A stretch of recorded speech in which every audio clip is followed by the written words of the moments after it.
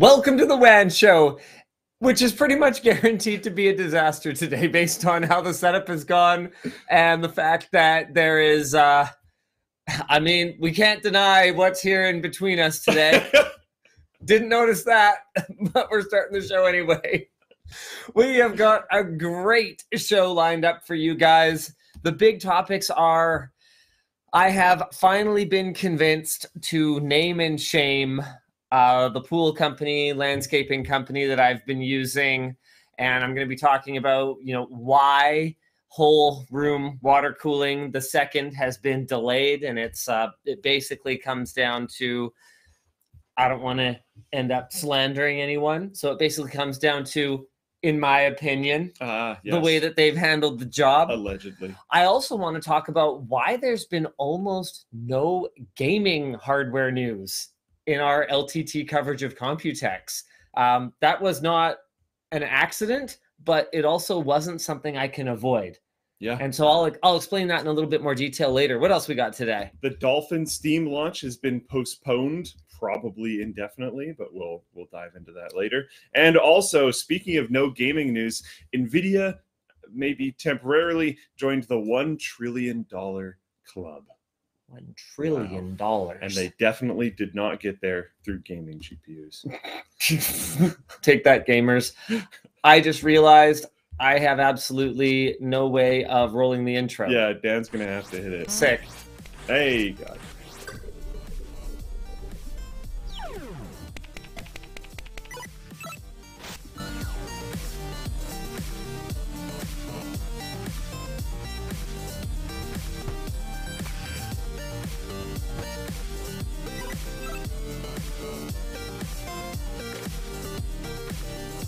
The show is brought to you today by something, presumably. I wasn't able to see it, but maybe you guys Uh, were. I'm getting there. Backblaze, Squarespace, and Blackpoint Cyber.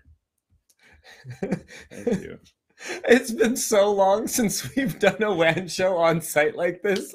It's the Taiwan show, guys, and mm, I am Okay. absolutely here for it. Someone pointed out in the Floatplane chat that this is actually just a Starforge logo. Yes. So it's it's okay. It's a It's hammer. okay. Yeah, yeah, yeah.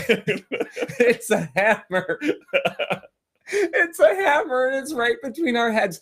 I am so sore right now and so tired. Guys, as tired as I look, that's how tired I am. I've mm. actually spent more time playing badminton than actually like I think we got if we, if we if we collected the amount of hours we slept last night, we had one full night of sleep. yeah, yeah, it was Yeah. pretty it was pretty rough. Yeah. I played for like 5 hours yesterday and this is really bad. I I realized when I got a group chat this morning from the the center back home that I'm actually signed up to play badminton on Saturday again, Which is which is tonight. which is tonight, but also I go back in time when I go home, so it's like far from now tonight, but I have played every day. Um Do you inclu- think you're gonna crush when you go home, even though you're sore because you're like so warmed up against good players? um you saw me try to go downstairs last Yeah, but I saw you try to go downstairs the night before as well, yeah and then you found a way to play. Yeah, so I got injured on the first day. Um, if you see, played through it. I still played every day. Uh, so what would happen was I would heal a little bit at night, and then I would spend the day walking around the show floor, like hobbling, around. hobbling around the show floor. You know, like I fake it pretty well on camera. So anything other than the gigabyte booth coverage and the uh what was it, Frore systems. Mm. I'm like uh, uh, and uh, so if you look at if you look closely at the montage of me running when we did the video in the uh, Supermicro booth where we had to like go on a fetch quest to Mm. get a replacement CPU and RAM for this Blade server. If you look closely, I am like heavily limping in that video. So I would hobble around the show floor and then I would go play badminton, injure myself to the point of barely being able to lift my leg out of an Uber to get out of it. And then I would do rinse and repeat the entire trip here. I've actually had a lot of fun. It's been really great. It's been so long since I've been in the thick of things. And you know what? It's funny because I've been seeing a lot of comments from people that are like, yeah, Linus seems better. He seems like he's having fun, or he seems like he's he's chilled out, or he seems like whatever. You know, if the content's going to be like this when the new CEO comes in, I'm here for it. And at first, I was like, that seems stupid. Uh, no offense, because you know one of the videos that had a lot of comments like that was actually the hundred thousand dollar Minecraft PC build for Karl Jacobs. We shot that video like three months ago. Yeah, yeah. Um, I saw a bunch of videos about that on our cleaning video as well. And I was like, hmm. uh, comments about that, but yes, sorry. yeah. What did Um, I say? You said you saw a lot of videos about it. yeah, he's tired too. We both went out for beef noodle soup at like two thirty in the morning last night because that's a smart thing to do. it was worth it. It was good soup. It was really good soup. Yeah. Um. Anyway, at first I, I was thinking to myself, okay, these guys are just looking for something, but I gotta say, I I felt creatively liberated at the show this year. Cool. I didn't feel like I had to just do traditional booth coverage. And honestly, I didn't want to because I could have uploaded the same thing we would have uploaded at Computex four years ago. But I feel like the channel's come a long way since then. I feel like the community expectations have come a long way since then. And I feel like the industry has changed a lot since then.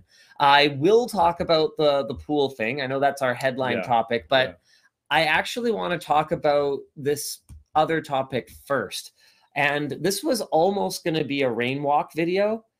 I might still write it up and shoot it before we leave, but I, I want to talk through some of the thoughts that I had just here on the WAN show because you guys probably noticed, right? We shot almost nothing this year in uh, uh, in terms of PC gaming, like for the LTT channel. I mean, Noctua had has that really cool offset uh, mounting bar thing, so you can you can drop your temperatures a little bit on AM5 CPUs by by actually moving the cooler down to where the CCDs are under the IHS. And other than that, our first video was NVIDIA's Grace Super Chip and Grace Hopper data center. Our second video is Frore Systems Cooling, which, okay, if this matures the way that they think they can, wow, it's going to be an absolute game changer for gaming laptops. Yeah. But if the view rates on laptop videos are anything to go by from you guys, I'm I'm thinking you mostly care about desktops. And I just I, I don't see this technology making its way into the desktop in any Yeah. Me neither. realistic amount of time. Like just from a cost perspective, it won't make sense because you don't need the benefits. You don't need the size benefit. So why are you paying for it, right? Um, the Noctua cooler. Oh, right. Then Supermicro. Supermicro was one of the other really interesting things at the show. Uh, these these microblade servers. Did you watch this video? No. Okay. These are super cool because instead of using server CPUs, they're just Ryzen's. And so instead of going multi socket, they're just blades with full Ryzen PCs. So it's a 3U rack with eight full computers in it. And you can put up to Ryzen 7950X 3Ds. So if you wanted to do like a, a high performance game server, like like top tier single threaded performance, this is it. And you can still, you know, slice them up and virtualize them because, I, you know, it just occurred to me Why not? I don't think we're grateful enough that virtualization for I, I, that would this would be a really interesting thing to dig into in a Techquickie or something like that. How did we end up with proper virtualization support on the desktop? It is kind of surprised that hasn't been a gated feature at some point. Well, I think it was at some point. Oh, I think in the early days it was like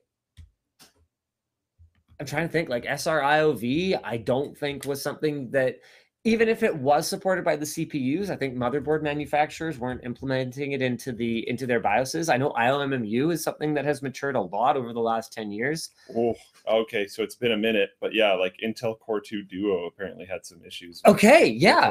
being locked off. Yeah, so there you go. The fact that we ended up with that is kind of a miracle when you look at the way that it didn't happen with GPUs. Um, and to be clear, there has been stuff at the show this year that is gamer focused. I mean, uh, we've got a short that I shot for Short Circuit on Asus's Concept GPU that moves the 12 volt power off of the top. Ah, so there's yeah. no cable and it's just got a finger on the bottom. But I feel like a lot of noise was made about how innovative that was from people who don't cover Mac Hmm. because when Apple launched the the latest cheese grater Mac Pro, that's exactly how they did the power for the GPUs in it, and it supported cables, so it had uh, female connectors on the motherboard, and you could buy a, a cable kit, so you could plug like a, a non first party GPU into it, and you could you could power it that way.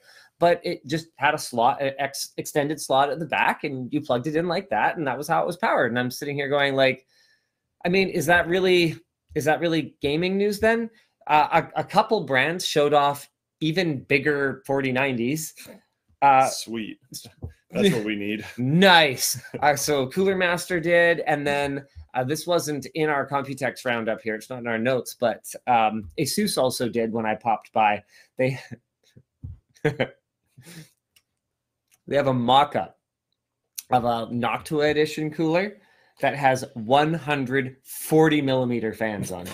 Noctua's new 140 millimeter fans. So it probably performs like a hot damn, but it is absolutely Enormous. colossal. We're gonna have a tweet going up with just like your classic. I'm holding a regular size GPU and I'm holding that one. You versus the guy she tells you not to worry about, you know, that sort of thing. Yeah. Um, but really, the big news, the big innovations were in the data center, were in you know mobile. Um, Intel showed nothing for consumer desktop. Yeah. AMD showed nothing for consumer desktop. Nvidia showed nothing for consumer desktop. When was the last time that that happened? At Computex. At especially. Yeah. Yeah, that's rough. and not even consumer desktop i mean we're not even seeing we're not even seeing uh, there's hints there's hints that there's a new threadripper coming but is it going to be a threadripper for enthusiasts or is it going to be threadripper pro which is priced for professionals and is not really going to be applicable to gamers at all anyway because the motherboards are going to cost $1300 like we've seen with the current threadripper pros Yeah. um, Curious Brad says, I'm so sick of Nvidia this, Nvidia that. I want to see the competition rise up. You gotta give you gotta give credit to Nvidia though. They they just keep kind of they keep kind of killing it. I And guess I'll, I'll also throw a shout out to Intel. They're Yeah. trying. yeah. Yeah, they're, They're trying. on it. It's- Those price cuts recently are actually like really compelling. Yeah. 199 for an A750. Yeah, like that's actually crazy. I know it only has 8 gigs of VRAM, guys, but like it's $200. yeah, Like that that's freaking awesome. that's actually wild. competition's back, but it seems to be between Intel and AMD yeah, at the low end. Yeah. Because I mean, Nvidia comes in with the 4060. Okay, we're going to talk about Nvidia in more detail later, but um, you know, first I want to I want to talk about you know this this this kind of this topic that I wanted to discuss, which is like PC gaming's kind of in trouble. Um, um, yeah, yeah, yeah, yeah, is it PC gaming or is it PC gaming hardware enthusiasts? Well, I think it's a little bit of I think it's a little bit of both, right? Because there's a lot of excitement for, you know, higher fidelity graphics, for example, and for, you know, game design that pushes the envelope. And, you know, whether that's in-game physics or whether it's you know much larger scale multiplayer or whether it's Right. like there's lots of different things that are not just more eye candy yeah faster gpu right and one of the observations that i made at the show is that a lot of the really exciting stuff that's happening right now is in the data center and more worrying that data center tech is not the kind of thing that I am expecting to trickle down to gamers in a meaningful way. And so I want to kind of explain what I mean by that. In the past, we saw innovation like like there's always been this i shouldn't say always been but there has traditionally been this trickle down so when multi-core was a big push in the data center uh, you know back especially when software was uh, licensed per socket right all of a sudden there was this push to have more and more cores per socket right and then when performance per watt was a big push in the data center all of a sudden we saw efficiency gains. gaming brands talking about how important efficiency was for your new gaming CPU. Which has been great because power prices in a lot of places around the world are like through the absolute roof right now. But right now, what we're talking about is accelerators. Uh, we're talking about, I mean, AMD launched that really cool looking know- video encoding accelerator, Yeah, yeah, yeah, yeah. right? When talking about things like AI accelerators and whatnot, though, I do think that's actually going to trickle down Well, because we're Well- talking about we're talking about things like okay, not in the gaming space, but there's that talk recently about the generative AI that's in Photoshop. yes. That's actually pretty big. Okay. And then I do believe there's going to be games that like you know procedurally generated game styles where it's procedurally generated through AI accelerated tasks. But tell me this will that AI make its way to your local processing in a meaningful way? Or will that generative AI be done in on a in a cloud server somewhere? I actually genuinely think it's going to be both. You think it will be both? because I think there's going to be single player games that have procedural generation built into it and they can use your local processing to do it. How are the games rating organizations going to rate a game that Yeah, has be rough, real-time generated content in it? especially with AI's ability to just like screw up Yeah. hallucinate, just do the wrong thing. Because you can you can put like bumpers, but it can also just go around it or find alternatives. So that that's going to be interesting. All right. Well, you're getting ahead of me a little bit here, but I was going to point out that some of the things that we're seeing in the data center space right now are just plain not beneficial to consumers. yeah. Um, PCIe Gen 5. This is going to be kind of an unpopular take, I think, but I fully support that both NVIDIA and AMD, and actually, I guess Intel for that matter, all delivered their latest gen GPUs with PCIe Gen 4.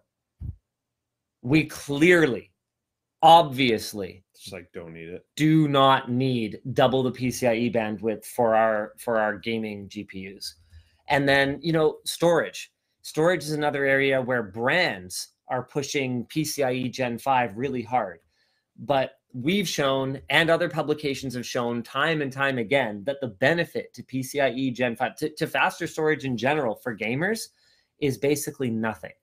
Now, could that change? Um, and then, right, the last point I was going to make is that it's all about accelerators now. So whether it's video encoding accelerators from AMD, or whether it's uh, AI accelerators, or whether it's um, you know, oh, like network accelerators. Nvidia was really excited about this this network accelerator they were showing off that has a 16 core CPU on it or something like that.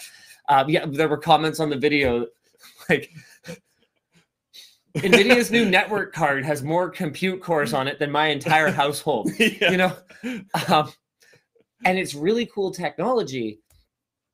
But we look at how long gigabit was the standard for consumers, and I'm sitting here going, is encrypting your network, is offloading network traffic encryption really going to be something we're going to see on a desktop computer in the next 10 years, 15, 20?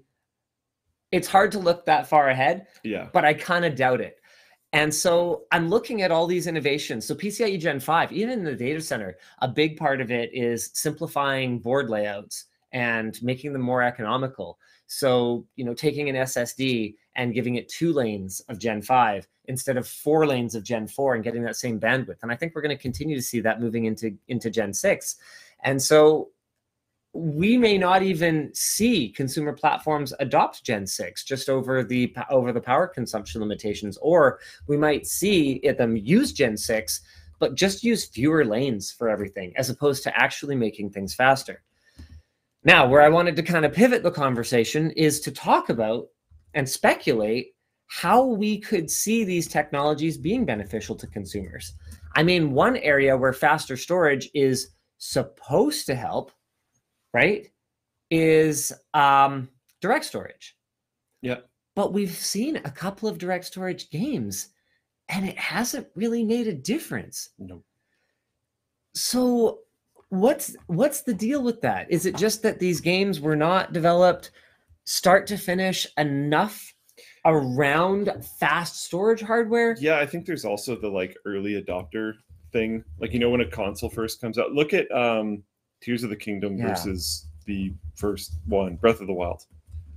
Like the the there was pretty significant improvements that happened there, as far as my understanding goes. If you actually happen to play it on a Switch instead of emulating it, uh, um, but like they're going to get better at using it over time. But there also needs to be incentives for these devs to have to like work harder to actually do that there's Mhm. there's conversations going around recently about how like developing for the switch is where you're seeing pretty much all of the effort going into being efficient with things you can see pc games coming out they're like 140 gigs yeah. it's just like oh Yeah. okay so they did yeah i don't know we'll see it happen but Okay, what else could we use faster storage for? I mean, that's always been something that's been kind of baffling to me. You know, when I'm, uh, you know, performing some some simple operation, my CPU is sitting at four percent usage, my RAM's barely touched, and my supposedly, you know, seven gigabyte a second SSD is pinned at a at a, at a hundred percent, and like, uh, I'm not even doing I'm not even doing that much. Um, you know, it realistically is the limitation always just going to be the controllers and the NAND flash as opposed to the pipes to them. But let's say let's say they can build faster flash and and we reduce that bottleneck. Uh, you know, what would we do with faster storage? So direct storage theoretically would allow us to do PS5 type things where you're streaming game data directly off of the SSD, um, like streaming textures. Um, I'd like to see I'd like to see an Xbox like resume but not just from suspend, from like hibernate. Is Yeah. there any oh, reason? oh god Is well, no, think about it. no i love the concept i just windows and sleeping I It's- know, but look, great concept though yeah, we're no, we're we're having we're we're we're thinking optimistically. yeah yeah today. yeah yeah no it's great Turn off that pessimistic, cynical brain of yours and think of what we could do with faster storage. Hit me, guys. Oh. I do like that a lot. Being able to sleep your computer in the middle of heavy tasks like gaming or potentially whatever else and come back to it and have it actually resume in the middle of it would be would be cool. Fire simulations, guys. Um I mean, I guess. Yeah, there's not uh there's not uh oh, this we could store things faster. What a what a comment. Amazing. oh, discussion question. Handyman over on Floatplane chat asks, uh, have I buried the hatchet with Jensen from Nvidia? Hmm. Um I actually do have an update on that, so I can I can talk about that a little bit, but I'm worried. I think you're right. I think AI AI games are are going to be they're going to have a moment and then they're going to go away because they kind of sucked. Oh yeah, they're all going to be really bad. at the And then we're going to find ways to implement it into handcrafted games and it's, going to end be up really being. I, I suspect the early ones it's going to be like a selling feature of the game. Yes. It's going to be like CGI in movies. Yeah. right? Where it starts out as doing CGI for the sake of Yes. doing CGI. Yeah. And then it turns into, you know, Wolf of Wall Street.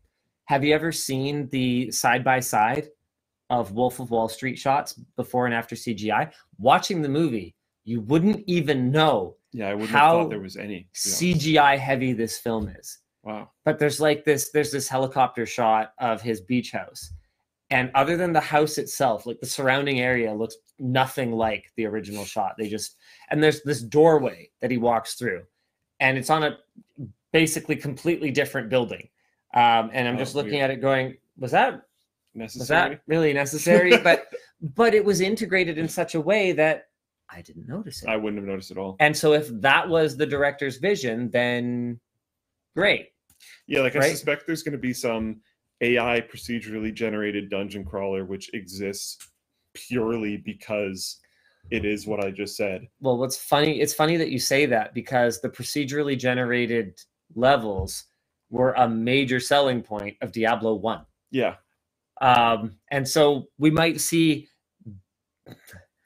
better that, but it's going to be worse in certain ways. Oh yeah. Almost certainly it Oh, will be worse in certain ways. Because it's like going to generate something that like the the word for it is similar to something else, so it ends up spitting out the wrong thing, and all this other problems are going to happen. But yeah, I think we're going to go too far at first, and then it'll fall back, and then when it starts to come back and properly, I think it'll be in ways that you don't necessarily notice a ton.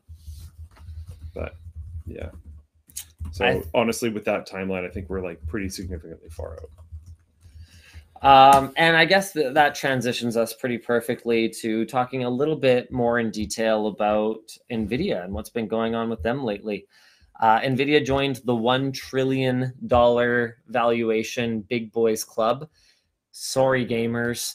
Uh, and I alluded to this earlier, right on the heels of their launch of the RTX 4060, where gamers were up in arms. Uh, gaming media is up in arms over how uh, you know awful the 4060 is from a competitive standpoint, how awful it is from a uh, last gen to current gen upgrade standpoint, and then their stock jumps you know 25% the following day. They briefly hit a one trillion dollar valuation. Um, this is alongside Al- Apple, Alphabet, Microsoft, Amazon, and uh, Saudi Aramco, which I don't know how to pronounce, but there you go, oil company. Um, they're the first chip maker to touch the 1 trillion mark thanks to massive demand for AI processors. That is what it is all about. I think you nailed it. I think it was last WAN show when you were saying like I, I think they're not being price competitive on this GPU because they just didn't dedicate a lot of like manufacturing to it. Like I think that's it. I think uh, why be price competitive when we don't even like we don't even have a ton of them because we want those lines to be dedicated towards other things. Here's the thing. I I don't I don't know if I was right anymore. I think it's a combination of things. Um, they they went to an aggressive new process node that is more expensive and does have lower yields compared to what AMD is able to do with their lower end cards. Uh, the 7600 was the, the most recent one, and I had a meeting with NVIDIA at the show that I, I guess I should talk about. Right? I don't know if any of it was on the record, so hopefully this is all kosher. But uh, anywho, basically the here's what I think. And this is not anything that anyone at NVIDIA said. This is just what I think from talking to some of the NVIDIA folks, from seeing what's going on with them on a business level. I think they should split up. I think they should spin off GeForce Interesting. because talking to the folks at NVIDIA who do work on the GeForce team, looking at the kinds of unnecessary innovations that they are still bringing to gaming. Uh, so they announced uh, a new ultra low motion blur technology that They've announced a few things. Yeah. actually. yeah that they they claim gets to something i think is like 1600 hertz motion clarity or something like that it feels it feels very because we can make it a little bit better you know and and that's especially true to me because we have display technologies coming down the pipe that are going to make that level of better image persistence on lcd totally unnecessary Mhm. right? And so I'm looking at it going, yeah, these guys in the lab are are are, really trying to crush it here for gamers. And in some ways, I feel like they're kind of getting held back by the expectations that Nvidia, the organization's shareholders, have for profitability. Because GeForce is always going to be a consumer brand with consumer margins, right? Whereas NVIDIA's data center business or their AI business for for automotive, right? Or their um, you know embedded products business, like all of these, anything that's B2B is inherently going to have more margin because your customer is making money on it. Like a new GPU is a burden because all of a sudden there's all these new games that you couldn't play before that now it's time to buy and play. Yeah. and I don't mean a burden personally. I mean a financial burden, Yeah, yeah. right? You're not eh, outside of mining, you're not making money on it. But but that's a really important point to make because mining is such a great example of how when something makes you money, all of a sudden, even if you are an actual gamer, you're willing to pay so much more for it because it helps offset the cost Yeah, yeah, yeah. right? So the kinds of margins that Nvidia can make on something like a Grace Super chip are going to look really attractive to their shareholders, and the kinds of margins they can make on some RTX 4060, even if it seems completely unreasonable to you and to me, are going to look really unattractive. And as the proportion of this business shrinks on the gaming side and grows on the data center side, their shareholders are going to look at them and go, "Hey guys, um, what are you doing? Yeah. Are are you should you even be making consumer GPUs anymore, or shipping all the silicon, all the wafers you can get from TSMC or Intel for that matter? That's going to be interesting. Jensen said their next gen manufacturing node is looking good. Should you just be booking all of it for AI and completely ignoring gaming? And I don't think Nvidia wants to. That's what I wanted to say. Is I think the GeForce team really wants to build great gaming experiences, and I feel like they're a little bit hamstrung right now. I, I have for quite a while now. I, I, assume you've kind of felt the same thing. You know, when you used to go to Nvidia.com and the like main thing was drivers. GeForce drivers, Yeah. specifically. Yeah. Now, like, even if you go to GeForce.com, which just redirects to NVIDIA.com/slash GeForce, um, there's there's like the GeForce section, but then there's another banner above that, just like making sure that you don't forget that there's a separation between GeForce and NVIDIA, and Yep. you can go to the main menu Of for that. Nvidia.com. which has nothing to do with GeForce. Even when you're on the specific GeForce page, they're like, just in case you didn't mean to be here, we've got you Product Solutions Industries. For you, whatever that means. Yeah, Yeah. like it's. I have always felt kind of weird about the Nvidia site for a while now because And of that reason. And this really ties into what I was talking about before, where it used to be that the innovations that NVIDIA would build for their data center products would benefit gamers, Mhm. would make their way down to gamers. Yeah, But we've actually seen over, actually, wow, I guess the last couple of generations, uh, Volta was an was uh, an example of an NVIDIA chip that was built specifically not for gamers. Um, and then Hopper, I, I, as far as I can tell, is simply not for gamers at all. It just, it just doesn't have, it, it just doesn't have functional units you need for gaming uh, because it's laser focused on AI, right? Um, and Wow. so we're not gonna, we're not gonna necessarily benefit from that that R and D money that comes from enterprise customers and goes towards building a bigger, better GPU that ultimately gamers also get to kind of tag along with, right? And so, I th- yeah, I, I I would I don't know if I would like to see it, but I It think it makes sense. I think it could make sense for Nvidia to just say, yeah, this is a spin-off business. It's GeForce. They they sort of they they they buy innovation from Nvidia. Essentially, they're they're a customer of Nvidia, uh, in the same way that uh, a Nintendo would be a customer of Nvidia for the Hmm. processor and the Switch. And the GeForce team is laser focused on building, you know, great drivers, uh, building great technologies to leverage the hardware from NVIDIA. Obviously, they'd work very close together, but then they wouldn't have the burden of needing to make those same margins, and they could get scrappier, and they could they could take the fight to AMD and as Intel ramps up with Battlemage and Celestial, their upcoming architectures, um, I think they could be more competitive because at the end of the day, right? Every fanboy has gotta understand you don't want one to win yeah, yeah, ever. That's not good. Whether we're talking the big three Intel, AMD, NVIDIA, every single one of them has shown again and again and again that in the absence of compa- of compa- com- com- Competition. com- I'm very tired. In the absence of competition, Stagnation. the happens. first thing they'll do is stop refreshing products and ramp up the price. Yeah. Let's look for recent examples from each one. Shall we play a game? Sure. Do you want to go first or shall I go first?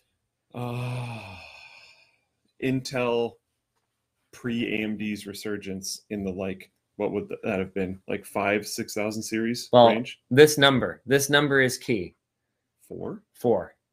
okay How many cores did you get? oh yeah okay yeah four four cores forever was was that was a very long term That, that ought to be all anyone needs, Luke. yeah that's good enough Yeah, that's a perfect example.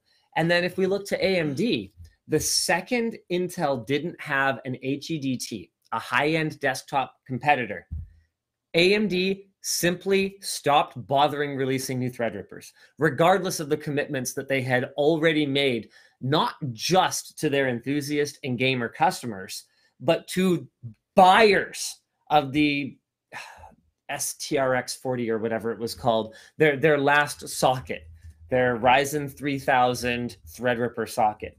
They were just like, eh. It was basically done. There were samples out there. They just decided, yeah, why bother Threadripper Pro is more profitable. And this is why. So why bother? this is why for years as we've been rooting for AMD to push really hard, we've also been pointing out that they're not like you know, the like magically benevolent good guys. There was that campaign that they ran a while ago where they had people with like uh protest signs at PAX and stuff. Do you remember that? No, Oh man. I don't think I saw that. It sounds cringe. I don't remember the name of the campaign. It sounds cringe. It, it was like resist, like resist AMD's or resist Intel's whatever. Ah, I wonder if I can find it. I think it's probably been like too long, and looking up anything that has to do with protest is just going to come up with a lot of news articles. So I think I don't think I'm going to find it. But yeah, at at like PAX West back in the day, I remember there being like genuine paid actors with protest signs that had like like resist blah blah blah blah blah blah blah and it was all AMD branding and it was all about like buy AMD to resist Intel.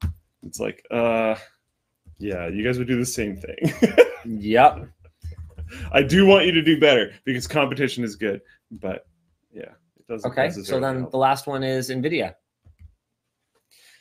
Nvidia, I honestly feel like hasn't sat on their laurels as much in a technological sense as the other brands, but they have definitely taken advantage of what they can extract cost wise Yeah. as much as possible. Yep. I mean, with them, in some ways, they're just kind of smarter about it because they're definitely doing it. And we talked about this when we did our tier list for the best GeForce GPUs, which, by the way, I know I often ask you, have you watched the video? I know the answer is no. You should watch this one. I skipped through and watched the 8000 series because I like cared about that. You know how many people did that? Was it a lot? the uh well not the 8000 series specifically but the the the retention chart on It's that video like, all over the is super weird we actually had a debate internally before we started working on it for when we should start because we didn't start at the beginning and we could have because the wa- there were only a, a few generations of GeForce GPUs before the starting point, and we didn't start later. So it was actually pitched to me that we start more, um, like like way way more recently. I, I forget I forget what the what the push was, but way more recently, and and do do far fewer of them. And I picked FX and I forget why. I think the rationale that I provided was it was right. It was the first DirectX 9 GPU.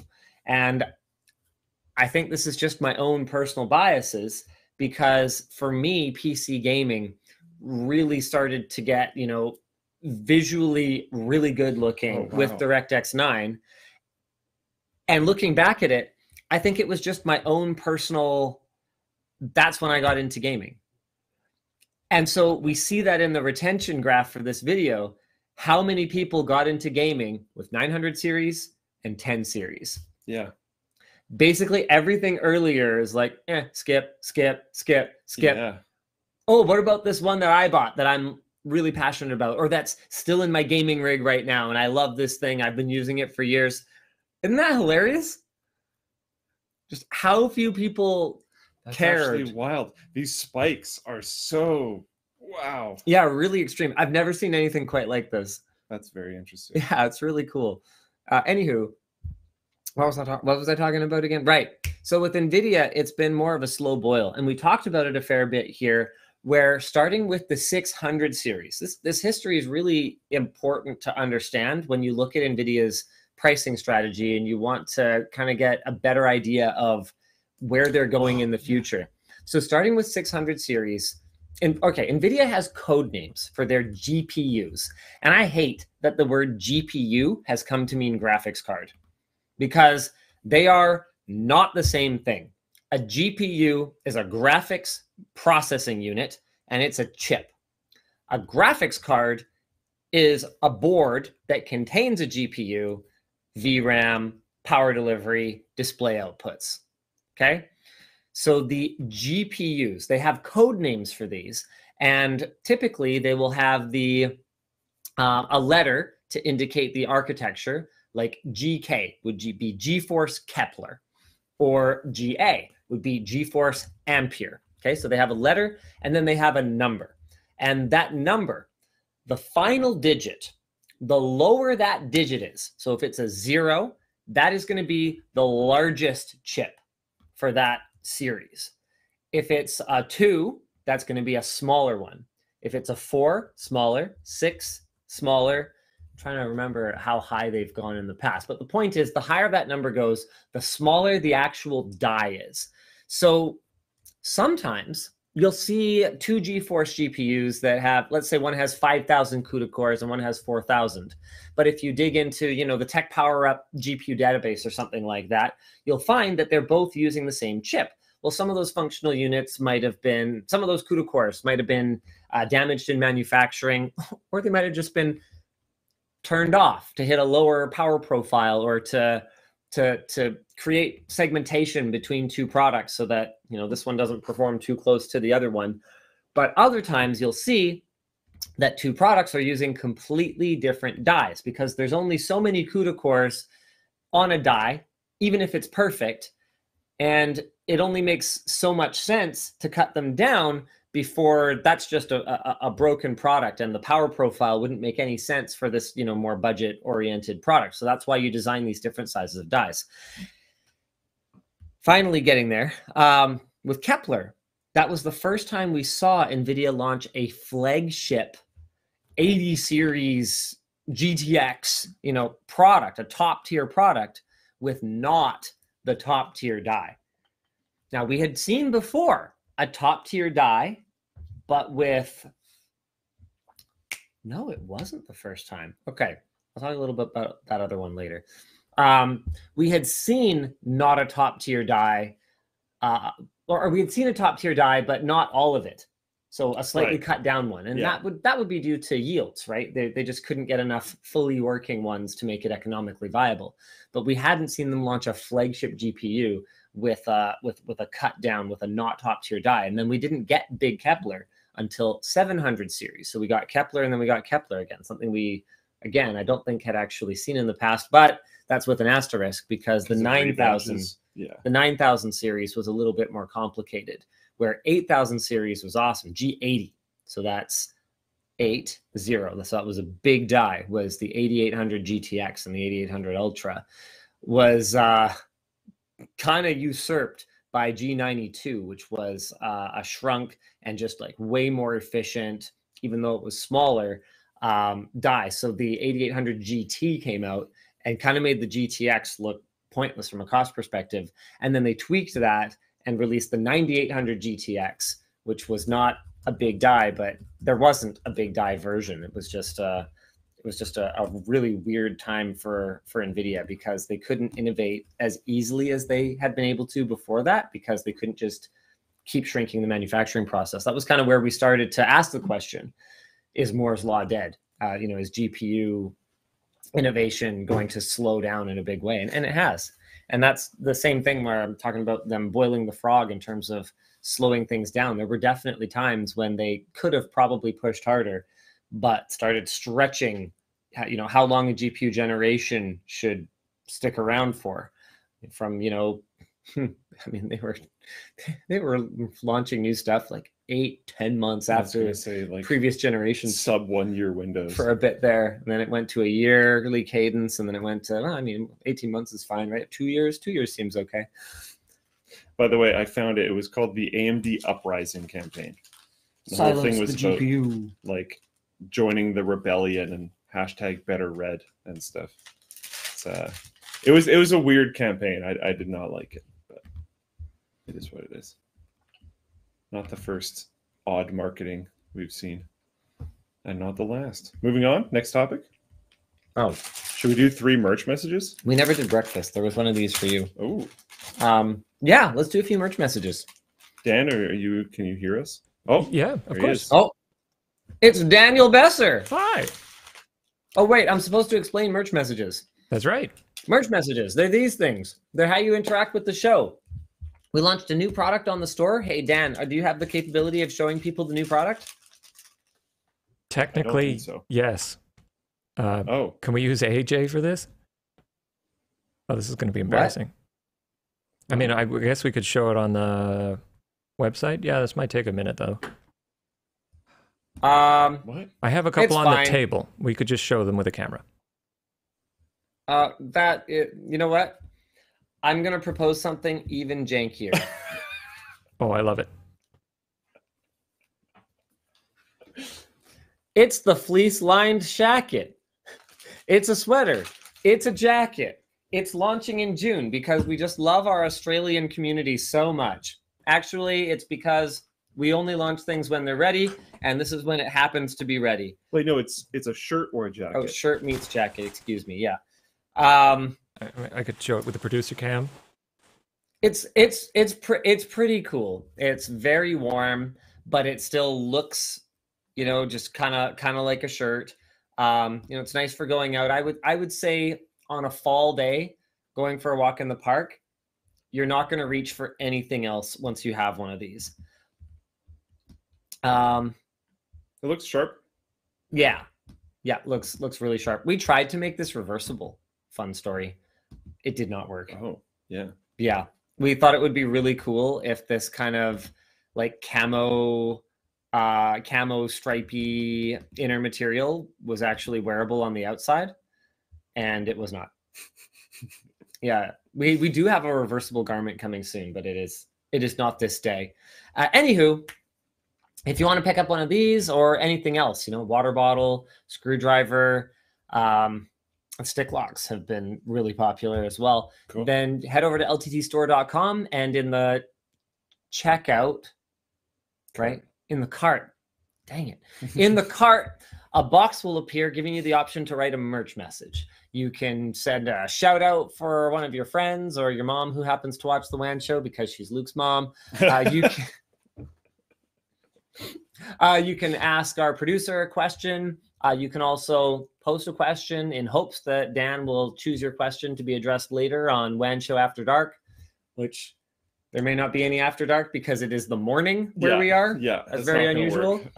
Um, anyway, the point is don't do super chats, you know, don't do Twitch bits or whatever else. Do merch messages because then, even in the event that we don't get to your message, you get your order in the mail and it's going to be quality. And we do not talk nearly enough about how well reviewed our products are.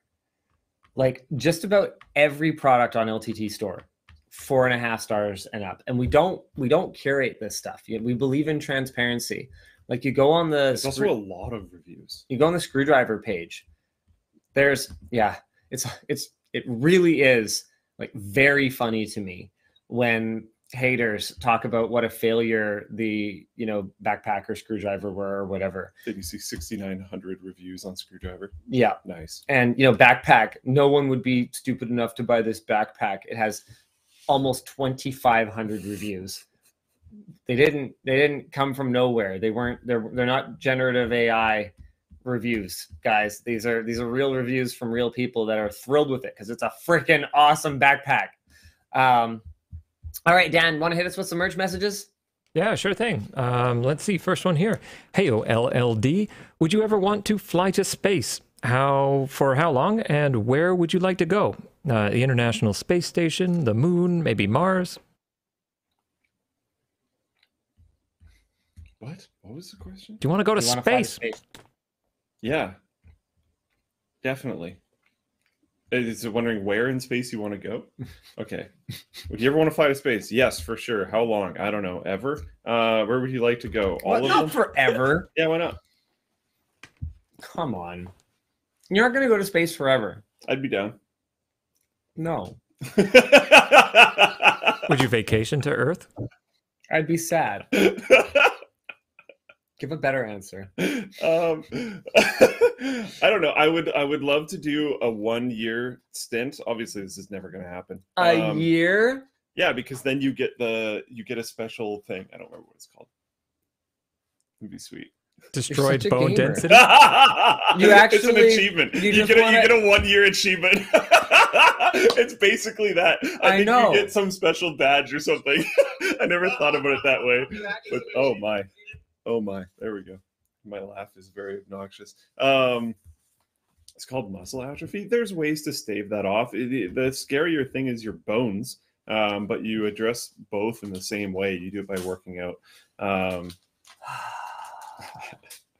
it's not going to happen. A year. Well, yeah, but answer the question properly. Okay, where would you go? You just would want to orbit or what? I think Whatever gets you the most patches. Yeah, probably. Uh, I think. I think if I mean, okay, if we want to think about it that way, if you could be the first, like if you could be the first to step foot on Mars, that'd be sick. That'd be sweet. But if we're assuming that isn't so much of a thing, Yeah, I Um, don't think I'd want to do the whole Mars thing. It's really far. I think I'd be far more likely to go to a moon base and then come back because because spend it's more like, time. yeah, It is actually like wild how much closer it is. yeah, And it's kind of wild how much closer the ISS is compared to the moon. I think a lot of people don't consider that as well. yeah. It's Moon is like a lot further. not that close. Yeah, it's like genuinely not. But yeah, I, I think some. I think like an actual lunar base would be pretty sweet because yeah. Honestly. I don't see the difference between the ISS and a lunar base being all that much.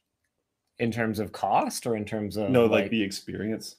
Really. No, sorry, I sorry, I don't. You're see, high. No, no, no, no. Wait, wait, wait. No, I don't you, see sir, the. I don't see the. Wait, wait, wait. I, said- I said it wrong. I don't That see building the back there, benefits. You're higher than that building. I don't see the benefits of being on the ISS or another orbiting station being much higher than being on a station that is on the surface. And then I see probably being able to exit the station and go wander around the moon being much more likely than spacewalks because Yeah. spacewalks are like super, super coveted. Right. And even a bunch of astronauts that don't go up are never allowed to do spacewalks. yeah. So, like, I think it's much more likely if you're actually on.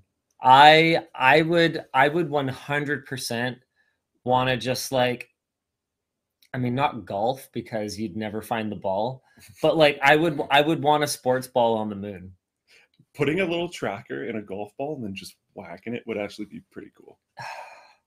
You'd never like I'd want to get it back though. Like I'd want to see it go and you would like it would just I assume anyway, I don't know. I've never been to the it would moon. depend how hard you hit it because i mean the moon has gra- like it's gonna theoretically unless you can get like escape velocity from the moon Yeah, no, I'd want to like no, I just I just uh, would it go around the horizon potentially? Like I don't know. depends how hard you hit it I mean, you wouldn't be able to see it anymore. yeah definitely almost Yeah. certainly that's that's the bigger concern i think uh but like no i'd want to throw like a football the iss has no You know? gravity that can affect experiments. Yeah but like i'm a big dummy. I don't think i'm doing experiments. Yeah no i mean yeah no i, I would just i, I would want to love to help. I would want to play sports ball. Like i would just I, i'd want to see how fast i could whip a baseball in like almost no atmosphere.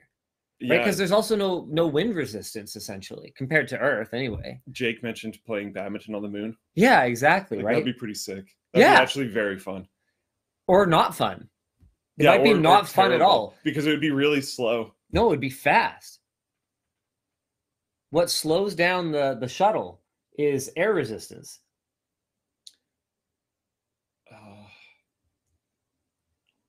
Like it. Okay, so there's only so low. Though. there's only certain shots where it So, falls down. Yeah, if you were the smashes would be terrifying. yeah, if you hit a smash, no one would be able to stop it. That's pretty great. That'd be freaking fun. Anyway, okay, Yeah, hit me again, sweet. Dan. Sure thing. Hello, Luke and Linus. How do you think AI will affect gaming in the near future? Do you think it will be? Uh, do you think it will make them lazy and slap it everywhere instead of polishing the games, or will it be more conservatively used? I think I it's curated both. this for a specific reason, Hmm. and it was the word lazy. Ah, because AI is not lazy. What it is is a tool. And I think that we're going to see very lazy implementations of AI.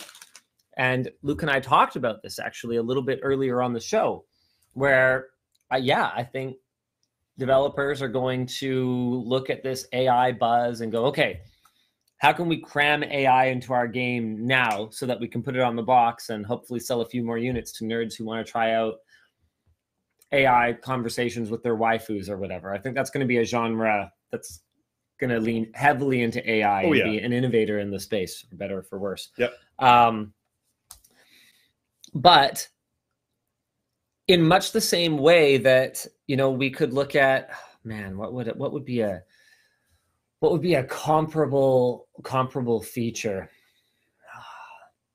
God, no i can't come up with anything right now because my brain is bad but ai is a tool.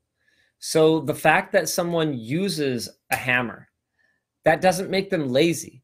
Like the fact that they use a hammer instead of putting the nails in by pushing them with their thumbs that's not laziness. So as long as they're still working hard, there's nothing inherently lazy about using a better tool.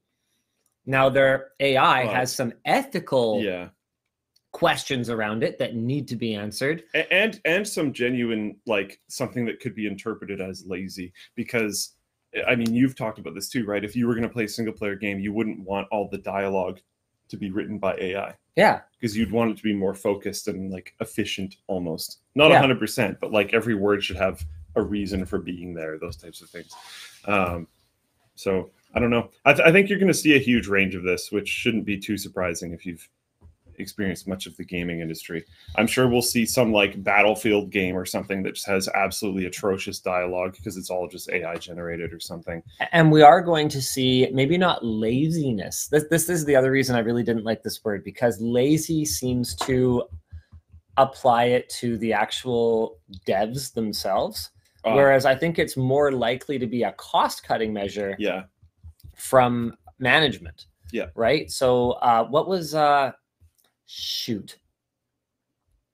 I've Any I've, I've forgotten. I've forgotten. But there was some game where the box art was apparently almost certainly procedurally generated. oh, Uh, did you did you see this? I, Did you I about there has this? also been games where their box art was just stolen from people, but yeah, I'm, I'm yeah. In this sure of case, that, it, it looked like it was procedurally generated because like the guy had like six fingers and there were little details and some artists kind of broke down, you know, what's what's going on here and what makes it obvious. Duke Nukem, the Duke Nukem Really? remaster. Yeah, yeah. Pull pull it up, pull it up, have a look. Sorry guys, we don't have a good way of screen sharing right now, so please, uh, you know, pull this up for yourself. Yeah, here we go. Duke Nukem remaster AI box art is uh, what Luke typed in and apparently the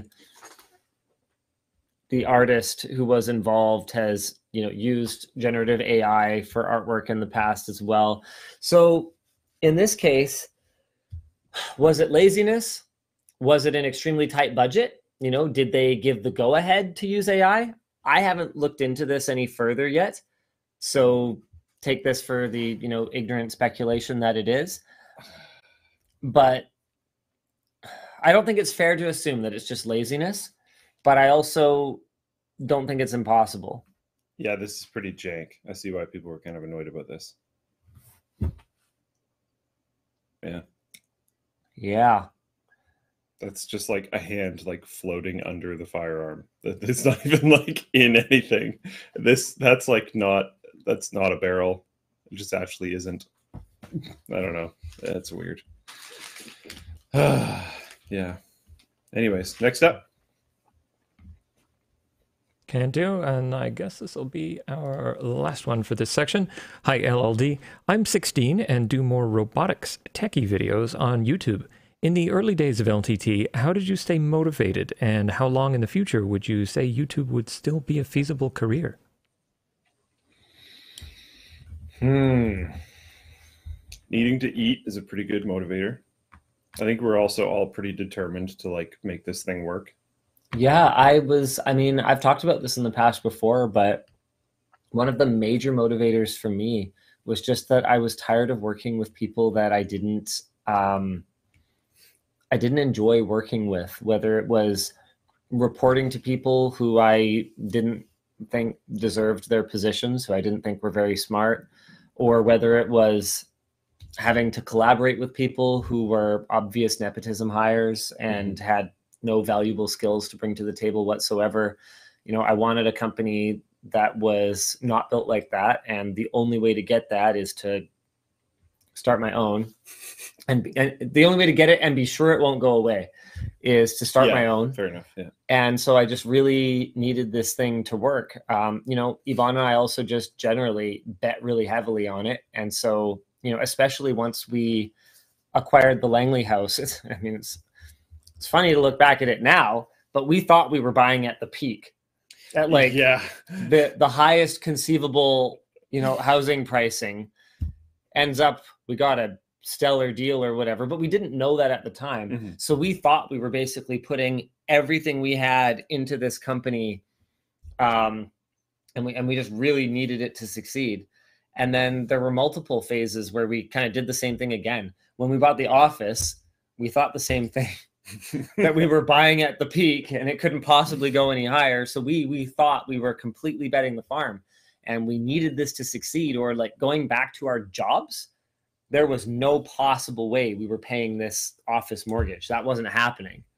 Right? So yeah, eating major motivating factor. Um, as for how long in the future did I think YouTube would still be a feasible career? I'll tell you this we started linustechtips.com, the forum, before we actually launched Linus Media Group, the company. And linustechtips.com, maybe not main reason, but at least half of its main reason for existing is in case YouTube just decides, you know what, forget about this channel anymore. I mean, I, we didn't have a contact at YouTube at that time. We didn't, we didn't know that they would continue to take the creator community seriously. We didn't know if they would just you know cut your adsense payment or or Maybe you get three strikes out of nowhere. or take it or take it away entirely. Like we, didn't know what the plan was for the platform right? We were just guessing. Um so at the time no I, I i would i would i would take every deal. I would make every video thinking this could be the last one. And i don't think that really changed until you know, three four five years in really I mean, even now, it still feels sketchy because of like just dealing with algorithmic throws all the time. Like, Mhm. I, I don't know. It's a it's a very unsettling industry to work in. It just is. Yeah, that's a good point. Luke was telling me he had some meetings with some creators that um,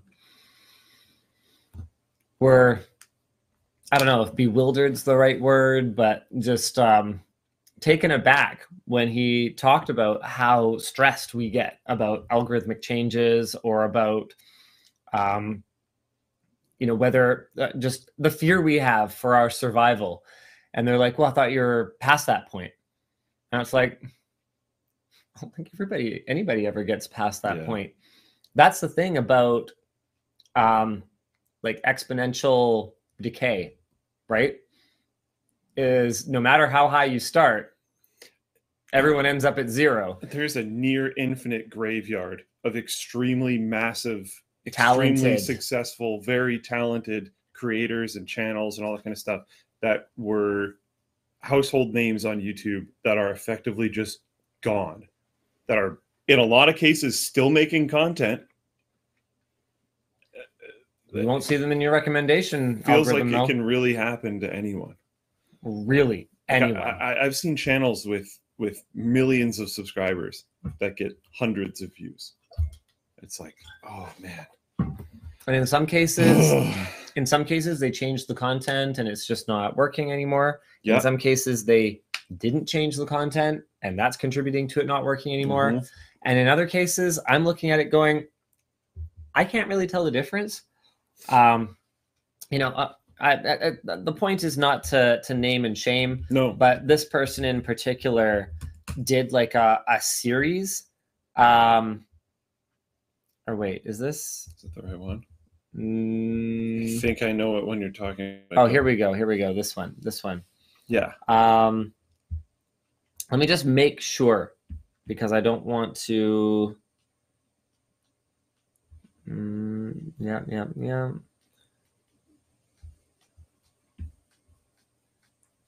Ugh, I don't know, but basically, I might not name it. yeah, yeah. There was a creator that was doing real amazing, and then just kind of completely fell off the map. I'm talking like her top video has over 50 million views 11 years ago, and there's multiple videos here with 10 million views and more, doing challenges and stuff, and then just you know she she's talked about this. I think if the, if I'm remembering correctly, she's talked about how it felt like she just disappeared overnight algorithmically.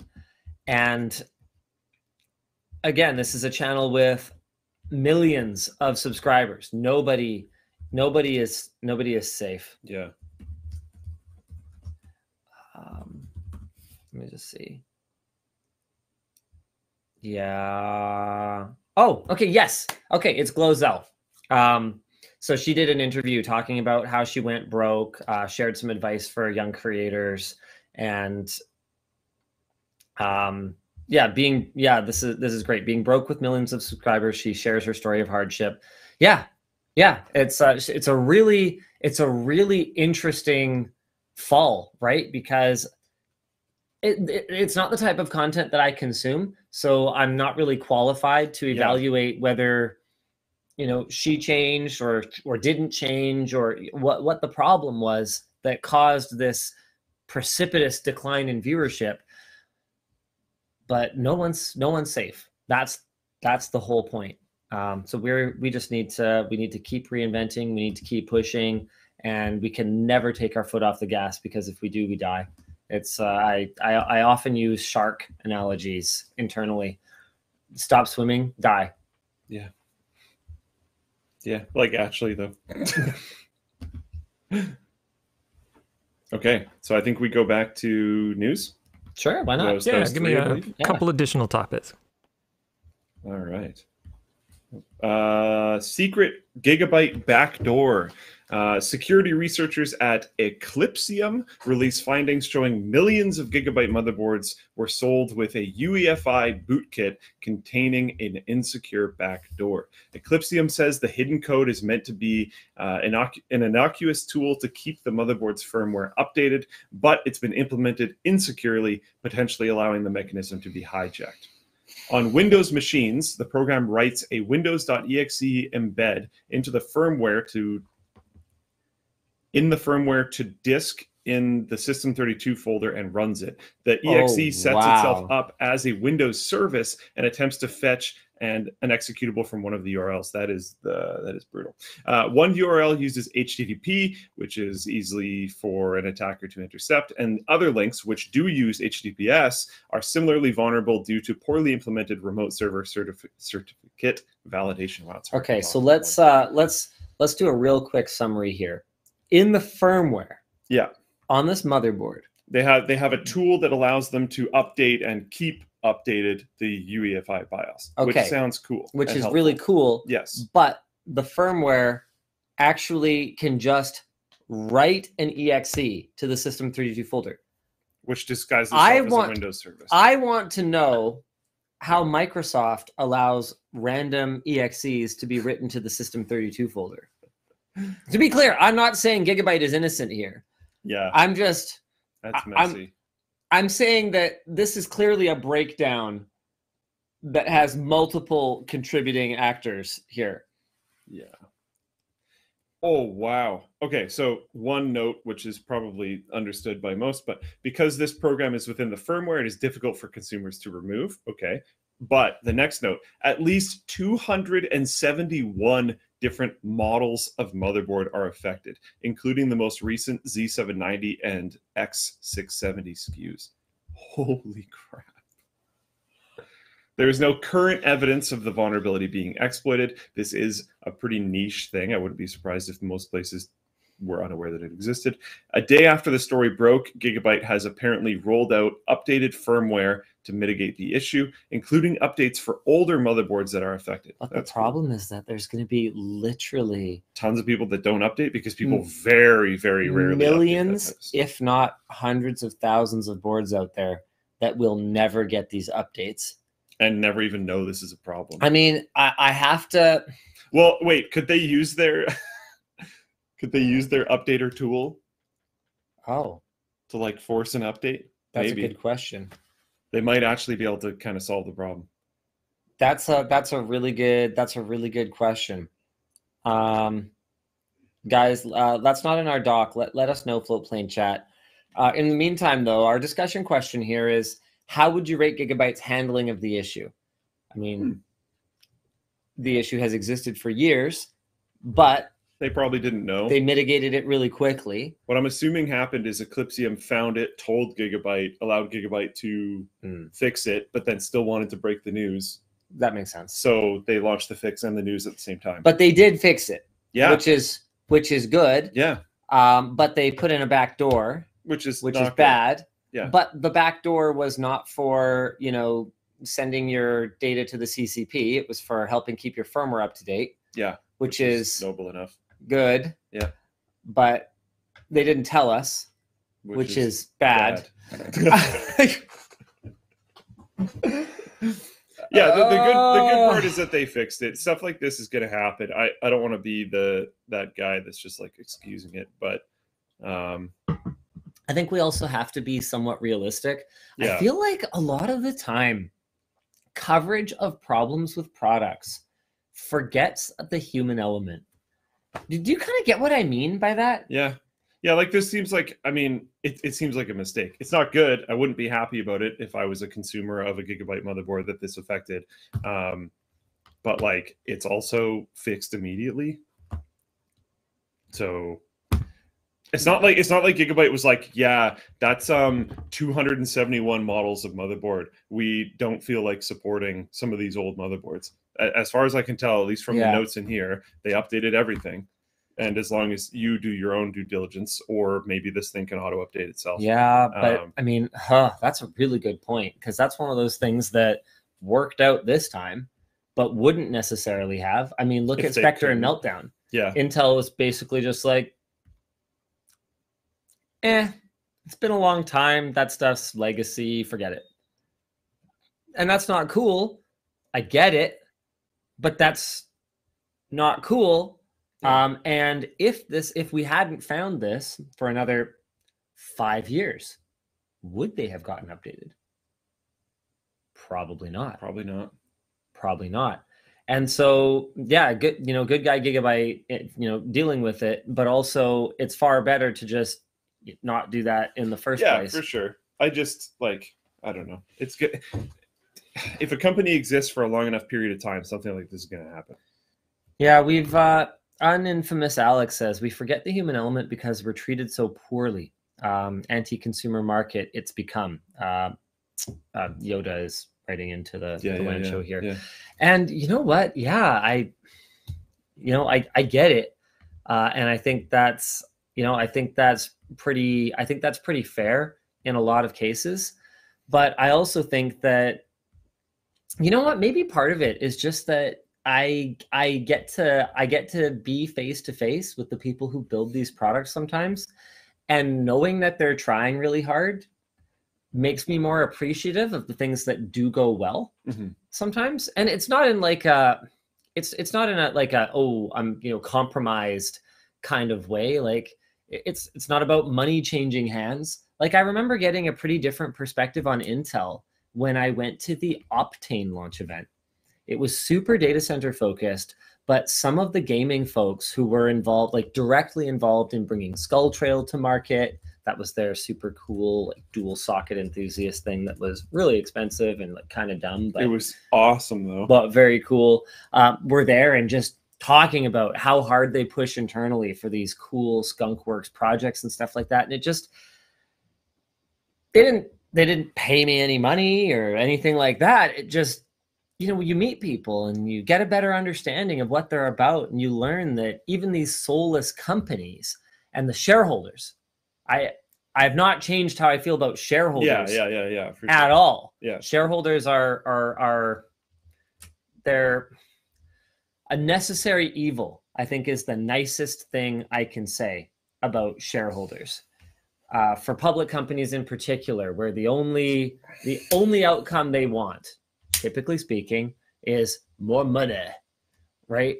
Um so i haven't changed how i feel about them but the actual workers the actual people the engineers the the designers the janitors it doesn't matter. The people who are working on bringing us these products a lot of the time they're really passionate. They, they actually love what they do A- another really surprising moment for me was when i went to micron and that was a sponsored video so you know take this for whatever whatever you can talk about what a shill i am or whatever but that's it has nothing to do with it um, i was just blown away by how excited these people were to make better memory and to get a chance to talk about it Yeah. that's the other thing, guys. That's These- a big one These are not people. professional actors who are pretending to be so happy dappy working at Micron so that I'll make a nice video about them. It's not. It's not like that. These were these were like the people who actually work on this stuff,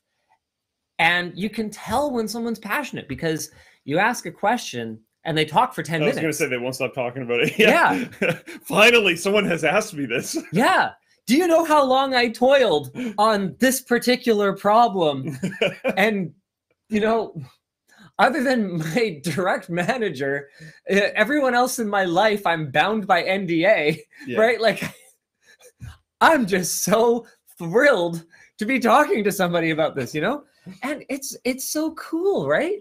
And it, like it was the same at the intel design lab um, that i visited in um, in tel aviv right? Like it these people were just you know in some cases the products were honestly not ones that I personally enjoyed, Sure. Yeah.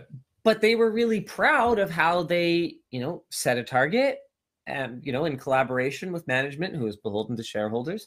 But this team, you know, damn it, they couldn't control that, but they set a target and dang it, they hit it, you know, time and time again. Um, and this this isn't a fab team, so Intel's had a lot of challenges shrinking their process nodes, but this was uh, like a chip design team, and and they, they were just proud. They were just proud of the work they were doing. I'm like, that's cool.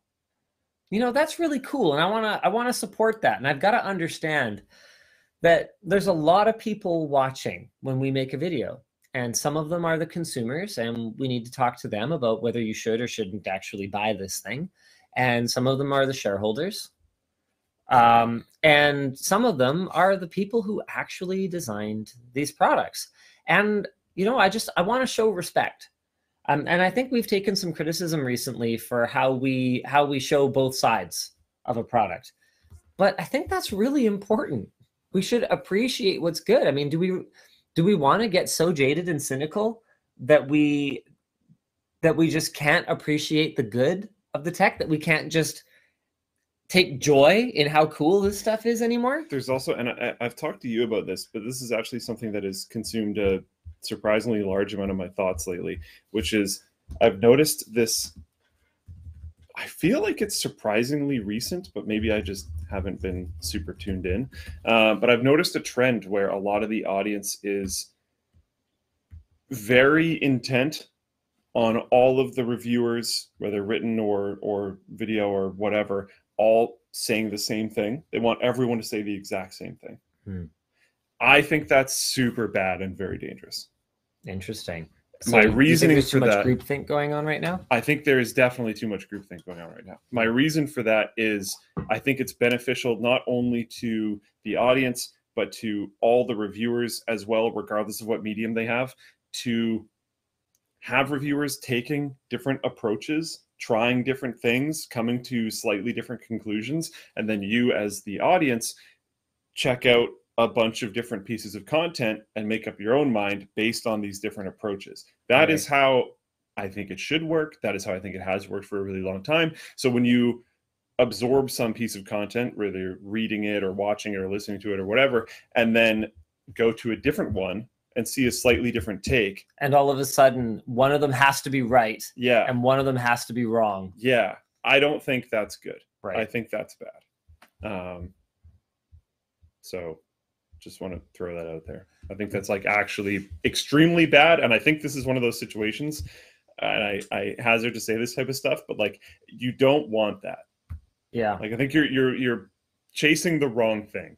I, I, I think that if you get to the result of what this thing is, it's going to be just bad for everybody because you're going to get crazy consolidation.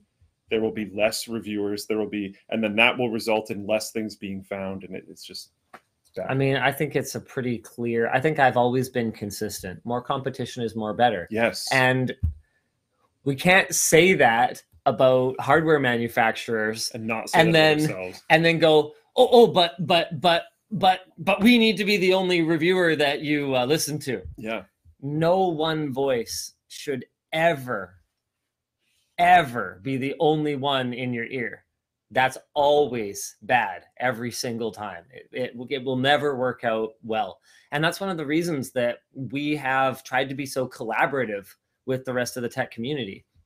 I mean, I think recently we've talked about how obviously, you know, we're trying to build our organization to build the best possible content Yeah. we can you have to. and you know if uh if people are finding it hard to deliver the same quality of content then like sorry uh you know find a different angle right? Yeah. you know and you know let's go. But we've also tried to work hard to you know build a spirit of collaboration in the tech community as well. I mean you name a tech creator and we've probably collaborated with them at some point or if we haven't we've probably invited them to ltx this year there's actually a lot of creators that i have never even met that are coming to ltx this year and i'm super excited. And we want to for LTX is wild. we want to bring people together. We want to i want to see collabs. I think it's going to be really exciting. It's going to be really fun.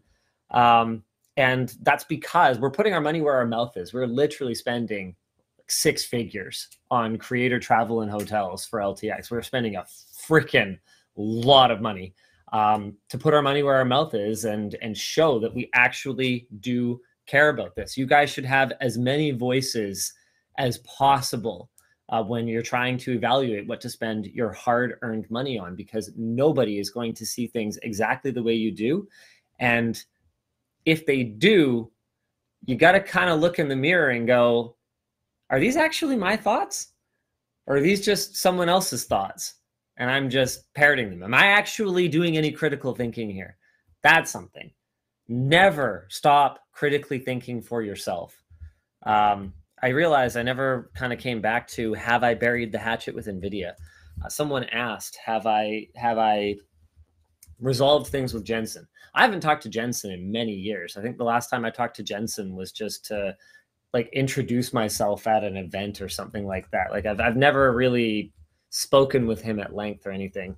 Um, but I definitely had some issues with our previous NVIDIA rep who simply um, revealed to me, regardless of the apology that went out to Hardware Unboxed afterward, revealed to me through his actions that he didn't respect media, didn't properly understand our role in keeping NVIDIA accountable, uh, felt that we were simply part of NVIDIA's marketing apparatus. And, um, and at that point, I just, uh, you know, I never apologized for anything that I said. I think maybe an apology was expected, but um, I wasn't going to apologize because at the end of the day, I didn't say anything that was wrong, and um, you know, it was it was my team, my group, uh, my my media community that was disrespected. Um, you know, I don't owe you an apology for calling you out for being disrespectful. Like that's actually not how that works. And that particular rep is no longer with the company. Um, so that they're retired now, and I met my new rep. So they they started just a few weeks ago, I think. Uh, so before you before you jump in with conspiracy theories about how we're you know that's oh that's why our video was you know more balanced for the 4060 or whatever no that's just how we're going to make videos where we want to look at everything we want to look at it from shine a light on it from every angle. Um, so this is my first time meeting them but they basically came in and were like hey i want to i want to have a fresh start here. And i kind of went that's nice. Uh, it was it was a tough meeting. It wasn't you know all sunshine and rainbows. Yeah.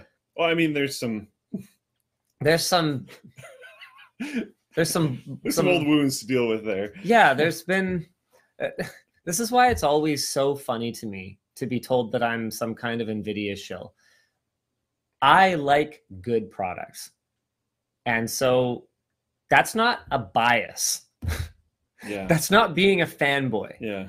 that's just evaluating things and then seeing how they are and forming an opinion that's not that's, that's not bias. If something is good and you think it's good that's that's just fact right? Like that's eh, and and and again though back to what we said before my fact is not necessarily your fact right? If i love this product for gaming and you use some kind of professional software and it's been they've had this bug for three years that completely ruins your life and you need to use something else that's yeah, that's your life right? Like that's that's your perspective and that's totally valid right? But for me it doesn't it doesn't make me a fan to say this is a good product that works really well. Uh, it's expensive but you got to give it to them. It works really well. Um where was i going with this? I totally can't remember because my brain is bad. Uh, right. Yeah i always get a kick out of it when people think i'm some kind of nvidia shill. Nvidia has done so little sponsored and paid work with us over the years that I don't even think they would register as like uh like how many decimal places would we have to get to? So you've got percentages of our total total overall income and then you've got like a decimal of a percentage. I don't even think they'd be at one decimal. I think they'd be at two. Like they are functionally like most years there's nothing. yeah they've only worked Yeah. with us like twice Yeah, like actually. like functionally negligible. Yeah. Um, and uh, which made it particularly funny to me when I heard through the grapevine back after the hardware unbox thing that Nvidia was putting pressure on their partners that they give marketing funds to to not spend those funds with us because even accounting for pass through, it's like negligible, like not a non-factor. So they they tried to put this allegedly tried to put this i heard from two two sources though they tried to put this financial pressure on us Yeah. after the hardware unbox thing that's another thing is like they apologized to hardware unboxed. i never got an apology for that um, so there's been some i am not a fan of nvidia and the way that they do business and so i made that very clear i made that extremely clear to our new rep that this relationship is not going to be repaired by coming in and saying you know, it'd be great. A fresh start. Uh, yeah, yeah, sure. I guess that would be great. Um, but you're going to have to figure this out because, as far as I can tell, a lot of NVIDIA's behaviors are not as simple as one rep going rogue, disrespecting the media, and engaging in these mafia thug business tactics. Um, I've seen NVIDIA engage with their manufacturing partners in the same way, their board partners. Um, I've, I've seen NVIDIA engage with their retail partners in the same way. NVIDIA is a cutthroat company. They are competitive, they compete. And maybe that's a big part of the reason they win so much. But that doesn't mean that they can't be respectful while they're while they're competing. That doesn't mean they can't share some of the spoils of war. You know, we saw the way that they've squeezed margins for their for their board partners, for example, over the years. And so I basically said, look, I think that realistically, a lot of the problems I had with NVIDIA are not as simple as a fresh start. Um, I appreciate anything that you think that you can do, and what I can tell you is I will I will have an open mind. Um, you know, I will I will try to have a fresh start, but you're going to have to understand that there's going to be more to this than just the way that you treat me, right? I, I, I just I love this I love this saying or expression or whatever it is where you know a man that's kind to you and rude to a waiter is a rude man, right? Um, and I experienced that a lot being uh, being a prominent creator in the tech community. It is pretty easy for me to get prompt service on something um, which is a big part of the reason that we do Secret Shopper, um, which is a big part of the reason that we are introducing our Secret Shopping Our Sponsors series, which is going to be kicking off very soon. I believe all of the background has been done, but the person who's working on that has other projects. So it's taking some time to get everything compiled and turn it into a script. But I'm I'm really, really excited to bring that series to you guys uh, because we want to we want to know like are we just getting good treatment because nvidia wants to project being a nice guy through their treatment of us and turn us into fans? It's something we've always got to watch out for. And you know maybe this is maybe i'm jaded and cynical.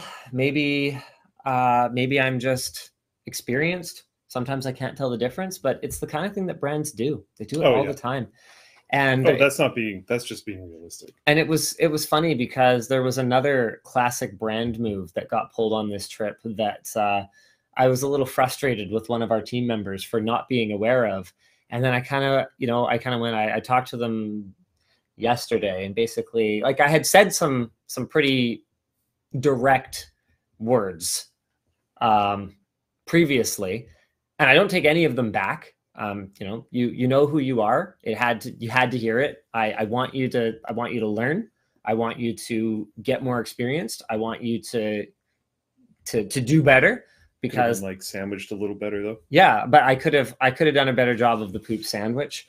Um but you know these are important life skills regardless of whether you're going to work here forever or you're going to work somewhere else. You got to you got to learn these things you got to take these with you.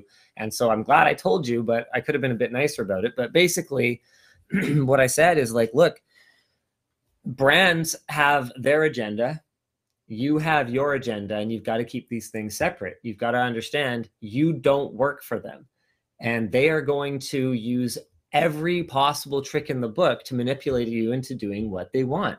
And in this case, it was a sponsored project that was supposed to happen while we were here. Uh, actually, it was a couple things, but the, the the one that started it was the sponsored project that was supposed to happen here with a big board maker, where I wanted to see uh, a GPU manufacturing line, and I basically said sponsorship deal or no sponsorship deal, I'm not going unless we're seeing a GPU manufacturing line. I want to see a GPU go start to finish, and then sweet. I want to power it on, kind of like what we did at the Micron factory. And in the lead up to the show, you know, I kept being told, okay, yeah, we haven't confirmed exactly what it's going to be. We haven't confirmed. We haven't confirmed yet. And I'm like, you need to get this confirmed. You have to get this confirmed. We are flying 11 hours around the world or whatever it is and you got to get this confirmed before we go. and I can see why it might not have seemed that urgent because we were going to Computex anyway, Yeah. right? But when you're negotiating something, the more things you leave until the moment when you arrive, the more potential there is for what happened next, which is that on the day we were supposed to go and shoot this video, we were contacted in the morning and told, hey, we can't make the GPU manufacturing line work. But what we do have is a new model of GPU that you can show and some cases and um, some upcoming. All like extremely basic level, boring Computex content. yeah. The like normal, normal content, Computex content. Um, so yeah, the sponsor deal is still on, but uh, it's going to be this. And I kind of went, okay, I made this really clear. When I said before the show that the sponsorship deal is not on unless we are bringing content about GPU manufacturing to the people, I meant it. That's not it's not negotiable. It's not a conversation. I I'm, I don't want to be talking about this right now because I already told you. And the thing is, like, I'm I'm not trying to be. I'm not trying to be a jerk about it, but I am beholden to my boss. And I don't mean our incoming CEO. I mean you guys. You guys are the boss. If I upload crap, you guys are going to downvote it or worse, you're going to not watch it. Yeah. And then we talked about, you know, exponential channel decay. That's going to happen. It's a fight for survival every day. If I bring you guys regardless of sponsorship dollars, right? Like that's what I'm, you know, that's what ultimately I have to do. If I want to get sponsorship dollars, I have to find a way to cram those into a project that is entertaining enough for you guys that you want to watch it regardless of that, right? So, you know, I will I will sometimes take a project that I would just love to do. Like I would just I would just love to see the Micron factory tour. That's actually a great example. I would have wanted to go regardless of the money, but I'll hold out. I'll basically go, no, it's got to be paid. Um, because realistically, for something like that, they're gonna they're gonna need a whole bunch of uh, like NDA like type of privacy tons of reviews. yeah privacy control over it anyway so if they're going to expect all of that then i'm sitting here going well then yeah then you pay the sponsorship dollar or i'm not going even though i'm sitting there going please I really want to go please, please do it right um so so that's what happened with this board maker is i basically went look i i told you we're not going because my boss says that's not interesting enough so we aren't going unless this is happening and I think everyone was sort of taken aback, including the person on my team who kind of went, Oh, when I said, okay, well, we're not going then. We're going to go shoot something else. And we ended up going to the Gigabyte booth where we shot that cool uh, Grace Super Chip video. That was actually, that was a lot of fun. And uh, later on in the week, we made another attempt at it. And whether it was a miscommunication or whether it was another uh, effort to just get us on site so they could get us to talk about something else again. Um, we arrived and it wasn't a manufacturing line uh, or even a prototyping line, which is what I thought we just were going to see. I thought we were going to see a prototyping line. it was just like some PCBs and some finished GPUs and uh, soldering iron and a soldering iron, which is not how they do it which is not how they build GPUs at all. Yeah. Um, and so we we shot a quick um, short for one of the channels, and we just like left. And you know, maybe it was a miscommunication. Maybe it was, um, you know, maybe they just wanted to get us in there to talk about this other stuff they wanted to talk about.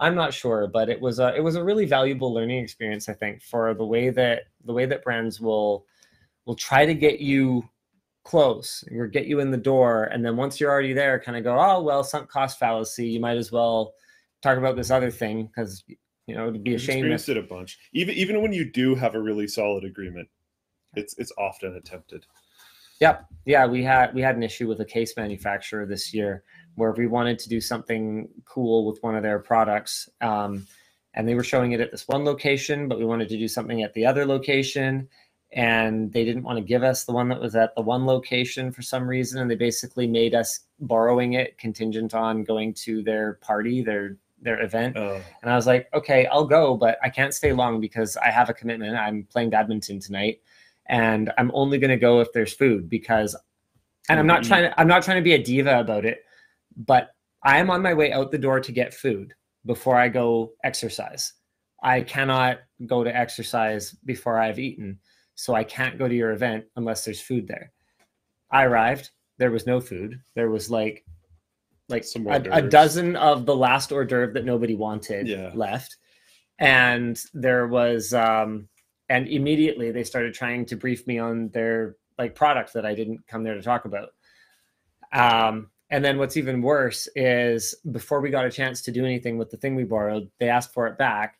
And um, one of our team members uh, went full just like errand person for them and like brought it back to them when we would have been going the next morning anyway. And I was like, so that was again, you know, like, hey, these are the moves brands pull. They try they try and make you their beta, and you can't you can't be there for that.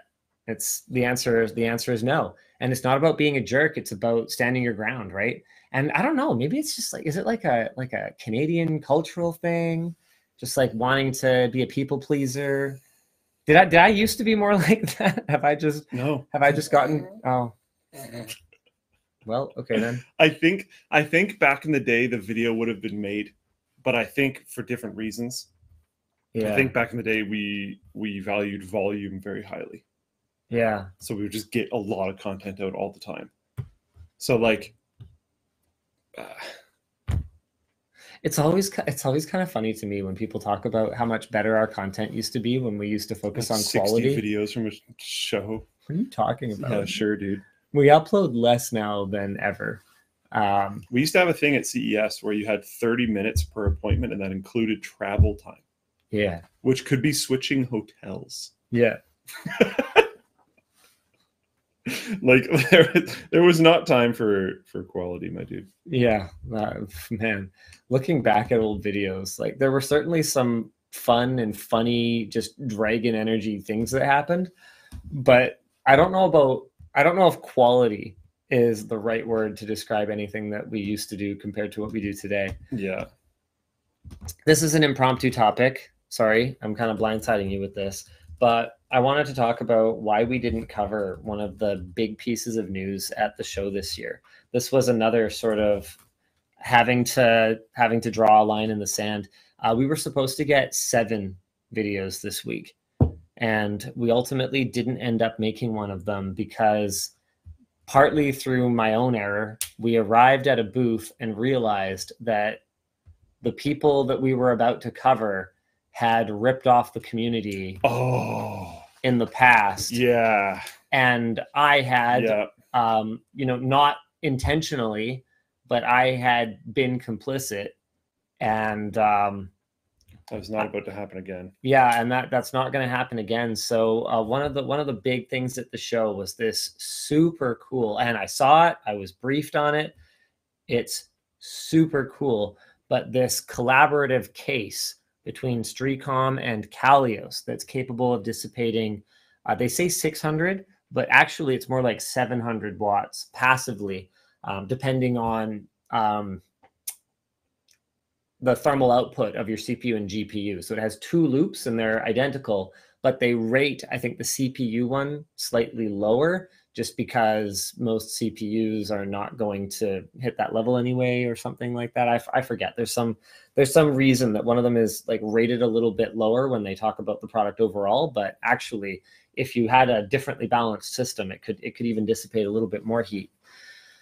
Um so I arrived. Oh, right. So first, let's talk about who these folks are. So Streacom, tons of respect. I uh, love those guys. They do just a gr- just great, great job of manufacturing super sleek aluminum cases and accessories and stuff like that. Um, in fact, they make the test benches that we use for the lab. Uh, really cool modular test benches that like pack flat, like awesome. Um, actually, oh, hold on. Yeah, that is Streacom, right? Yeah, yeah, the open bench table. Yeah, that thing is sick.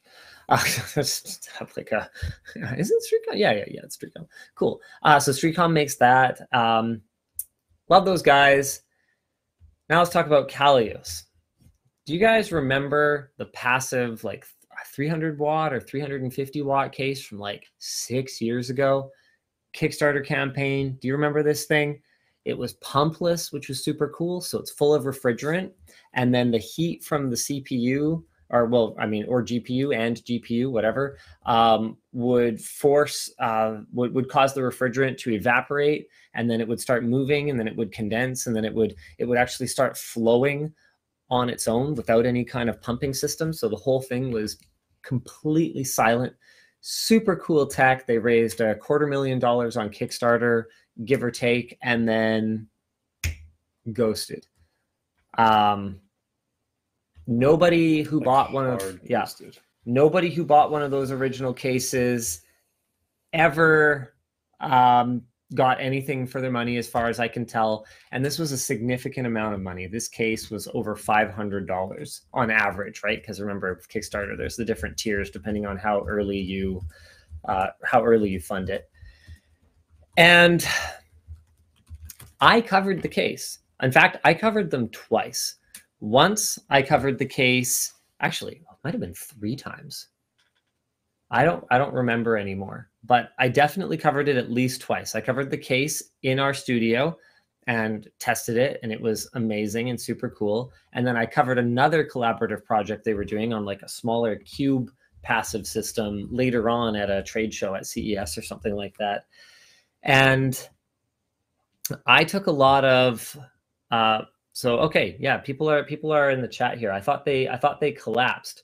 Well, no, they didn't.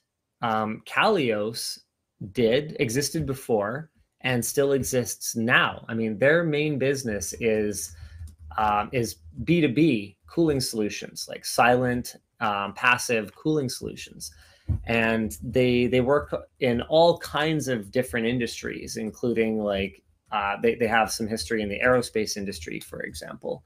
Um, and so they they they had the experience with cooling and they had the the backing they had the reputation as a real company that made me comfortable promoting this as a product that genuinely would exist where they would overcome the challenges and actually deliver these to people and they just didn't they just didn't deliver them and I want to tell both sides of the story here because I actually had the Calyos founder and I also had the new CEO of Calyos there in the booth with me. And they basically went like, look, we spent three times the amount of the Kickstarter backers trying to make this thing happen. There were challenges we didn't foresee. We were naive. Um, it was a smaller team, and I'm sorry we didn't deliver anything, but uh, it was Kickstarter. And I kind of went, okay. That's not really how that works. Um, but what about people's money? And they're like, okay, we have a solution for that. And I go, okay, I would like to hear your solution because I, I basically got the briefing and I told them we have two we have two paths here. Either you tell me how you're going to make this right And it's And I make- good. and I make a video about this. Yeah. Or you don't tell me how you're going to make this right and I walk away and I'm not acknowledging your company here. Um, and they go, okay, no, no, we have a solution for this. For everyone who backed the original case, they will get a voucher for the full amount of their backing toward the new case.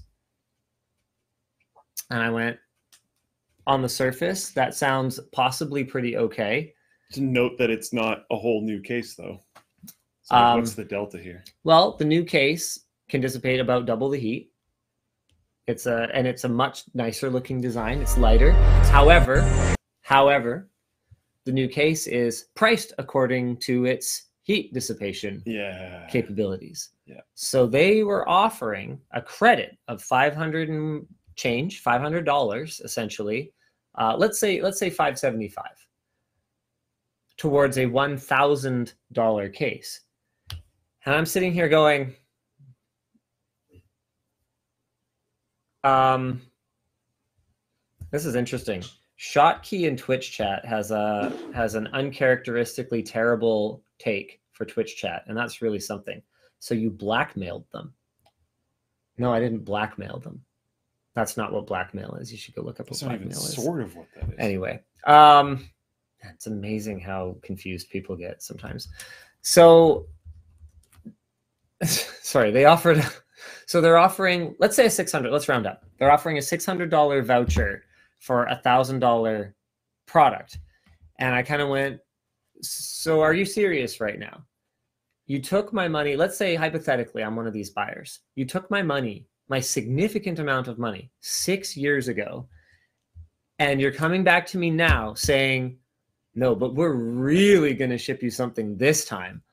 All we need is Double your money. more money. um, Ugh. needless to say, I wasn't happy with that. I, I didn't consider that acceptable. Uh, I said I said that's a good option that people should have, but at the end of the day, they need to also have the option to have their money back, um, because the way that it works is if you're a real company that behaves like a real company, when you take someone's money and you don't ship them a product, then, then you should give them their money back. And they kind of went, yeah, but it was Kickstarter. It was a it was a small team. It was a you know offshoot Skunkworks project. And I go, okay, but like this is your integrity we're talking about. I'm not talking about your legal obligations here. I'm talking about your integrity as as a company, as a person. Um, the right thing to do if you take someone's money and don't deliver it, it and don't deliver the product is to give them their money back.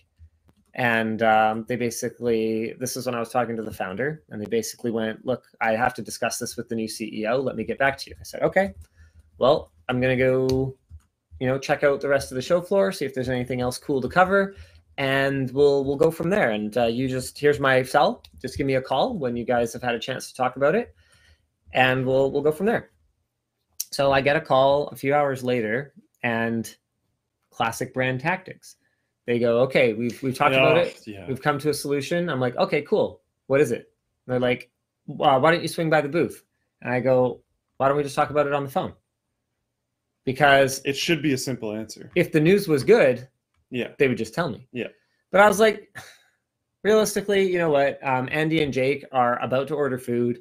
Get me what one of whatever Jake's having, and I'm gonna hobble over to the booth and um, I and I and I will I will tell them no in their faces because whatever. I'm not I'm not afraid of that. If they think that bringing me there is going to somehow make me change my line in the sand that I've drawn, then they've got something else coming.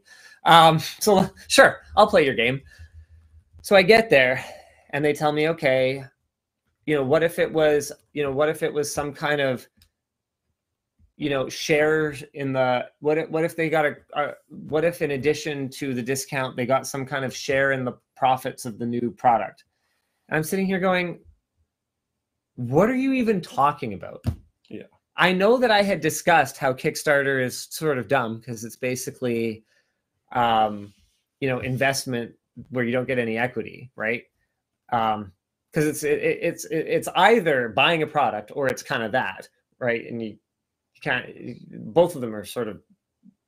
Well, buying a product is fine unless the product doesn't get delivered, in which case it's well basically just taking people's money, right? Um, and I kind of went, yeah, I mean, hey, thanks for playing, but that's actually not how this works. If you guys are a real company with integrity, then what you do is you give them back their money. I also run a physical goods business. We also make mistakes from time to time. And when we do, we eat it.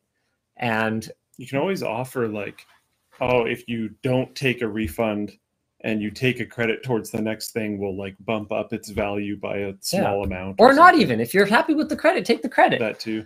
But getting a refund needs to be an option. Yeah, it should be possible. and and I understand what they're saying. They made a car comparison. They were like, uh, you know, we originally sold a Citroen, and now we're shipping a BMW. We can't just like ship everyone who paid for a Citroen a BMW. And I'm yeah, like, totally. yeah, hundred percent. So refund them. So refund them, um, because you didn't ship the Citroen. You never shipped it. Yeah. Um, and so the really baffling thing about this to me is that if Calyos is a real company and they really do have any integrity whatsoever, um, this is such a small price to pay. The total backing was about a quarter million dollars. which is a lot of money, but Which not is a lot of money. on like big manufacturing business scale. But if you're looking to just put this in the past for real, do it properly. And if you want a PR win, you basically say, look, yeah, we'll offer you a refund, but we actually think it's a better play if you take the credit and get this much better case. They'd probably convert a lot of people to the new case. But they're trying to they're trying to eat their cake and have it too. They're trying to just keep money from people who are not going to use the credit for the case, seem like they're looking like good guys, and launch this new case and kind of go, well, we tried. Because no none of those people are unless they actually you know offer a refund are going to be interested in their new promises. And you know what? It might be different this time. Streacom assures me it'll be different. I, I trust them still because they're the manufacturing partner um, helping bring this thing to life. And i feel bad for Streacom because it seems like they came into this having done nothing wrong ultimately just recognizing this is a super cool technology and wanting to bring it to gamers. I, so i feel bad for them right but no, at the end of the day, this is not a Kickstarter. There's a big difference for me between a Kickstarter from like a dude in a basement trying to build a hammer that turns into a crowbar and just ultimately not being able to figure it out and a company launching a product on Kickstarter or launching a, a new product category on Kickstarter in terms of the, the the trust that I have and my expectation that this company will behave in a way that is um, that protects their reputation, right? Because at the end of the day, it's all trust me, bro. Um, so with a with a company that has some kind of established reputation, I look at it and I go, well, you probably want to maintain that, so I can probably safely hand you my money. And in this case, that was not the case at all. And uh, that's kind of a funny pun because there was no case at all. They never shipped one. And I, I basically said, look, we're not we're not going to do it. So that's that's my. Uh... There is still there is still no update on the hammer. By the way, I just checked. The last update says we're back. Um, June fourth, twenty twenty two. We're almost at the one year anniversary of that. We're gonna get there. It's too bad because I really, yeah, yeah. Here's a, here's a, a, much better Twitch take from Tom Smith. If you see an ad for a six hundred dollar case and you go to the store and they say instead you have to buy a thousand dollar case, that's called bait and switch, and that's even without collecting any money. Yeah, it's like, and yes, I know Kickstarter's terms do shield them from any kind of legal liability here, but yeah, but why would you trust that company? The law is not the be all and end all of how we should treat each other. Yeah. Like by law, you know, I'm allowed to try like you can you can you can be kind of a dickbag and still not break the law, you know? that doesn't make it right. Yeah. Like uh I mean if you ever yeah, Floatplane chat is like laws are not morality, legal does not equal ethical. Yes. Stuff like that. Yeah. Yes. Laws the bare minimum. Yes. Yeah. Yeah, yeah, yeah, yeah. So we didn't cover it, and um, I'm, you know, it's too bad. But I, I just think at the end of the day, they had they had an opportunity to relatively cheaply actually put this behind them. Uh, I really wanted to cover the product, not just today, but going forward. I want I want one. You know. Like I actually want one. And I and I wanted the though. views on it. Even if I was certain it would show up at this point, I would not personally buy one. I wanted the views. Yeah. Yeah, yeah. but would you buy one if they offered a refund to everyone who didn't get one? Mm-hmm. Okay, well, see, that's what I'm talking about. Well, okay. I'm not like guaranteeing I would go no, and purchase one immediately, but you but would I would consider definitely one. consider it because it is super cool. It's a very cool product. It's sweet. So, like, yeah, it's and very possible. What's also possible is for us to tell you about our sponsors. Oh. Uh, Dan, hello, Dan, Daniel Besser. Hello. Are you uh, set up for this? Yeah. Mr. Mr. Besser, hello. Mm-hmm. Hello, Daniel. Can you, no, can you actually not hear me? Can you hear me? Dan? No, we, we can hear you, but oh. we Well, I wasn't going to tell him. I, I, refuse. we can hear you, you but uh, we can't see anything. So you kind of just got to tell us when to go. Uh, yeah, sorry. Bastard uh, Man is my favorite supervillain. Uh, we don't actually have any Dennis integrations today, so um, it's just, ah, it's just okay. reads. All right. Well, let's read then. Backblaze is an affordable and easy to use cloud backup solution that starts at just $7 a month. How are they still at just $7 a month to start? It's pretty wild. Seriously, though, we use Backblaze. Yeah. Is that like in our talking points? At this point. Yeah, we actually use Backblaze a lot. Backblaze yeah. is sick. Yep. Uh, they make it simple, allowing you to back up almost anything from your Mac or PC and accessing it from anywhere in the world with their web and mobile apps. They don't even, oh, yeah, okay. You can also easily protect your business data through a centrally managed admin, and they'll let you restore your data for free via the web or even by mail. They will ship you a hard drive with your data right to your door. And when you're done, you can return the hard drive for a refund. And if you're worried about accidentally deleting files, you can increase your retention history to a year for, get this, an extra $2 a month. I'm sure we must pay more than that for extra retention. Or do we even have extra retention? You know? We we I, I I don't know off the top of my head, but we pay a lot more than that because we we use multiple services and we use them for multiple companies at this point. Floatplane backs up to them, Linus Media Group backs up to them. right. Yeah. Uh. With over 55 billion files restored and two exabytes of data under their management, Backblaze has got you covered. Sign up and get a free 15-day trial, no credit card required at Oh. backblaze.com slash WAN. No credit card required trial. I can't I can't endorse Backblaze strongly Yeah, enough. we we like Backblaze. We have also liked Backblaze for a long time. We also like Squarespace. Yeah. We actually use Squarespace too. Yep. If you're looking at creating and sharing your own content online, give Squarespace a try. Squarespace is an all in one platform for building a top tier website and growing your brand online. You can upload or embed your video library and organize it in one of Squarespace's best in class templates to explore all the new ways that you can monetize your content. You can both display your social media content and push website content out to your channels. Plus, with member areas, you can unlock a whole new revenue stream for your videos by allowing you to post exclusive content behind either a subscription or a one time fee. And Squarespace's analytics and insights ensure that you're optimizing your website every step of the way. So go to squarespace.com slash WAN to get 10% off today. Finally, the show is brought to you by Blackpoint Cyber. So, Luke, say my talking points. As much as you had a blast during the whole hackening debacle, I think we can both agree that cyber attacks are bad. yes. Well, the former national security experts at Blackpoint Security, uh, Blackpoint Cyber also agree. And that's what drove them to become a leading cybersecurity company specializing in advanced threat detection and response solutions for managed service providers.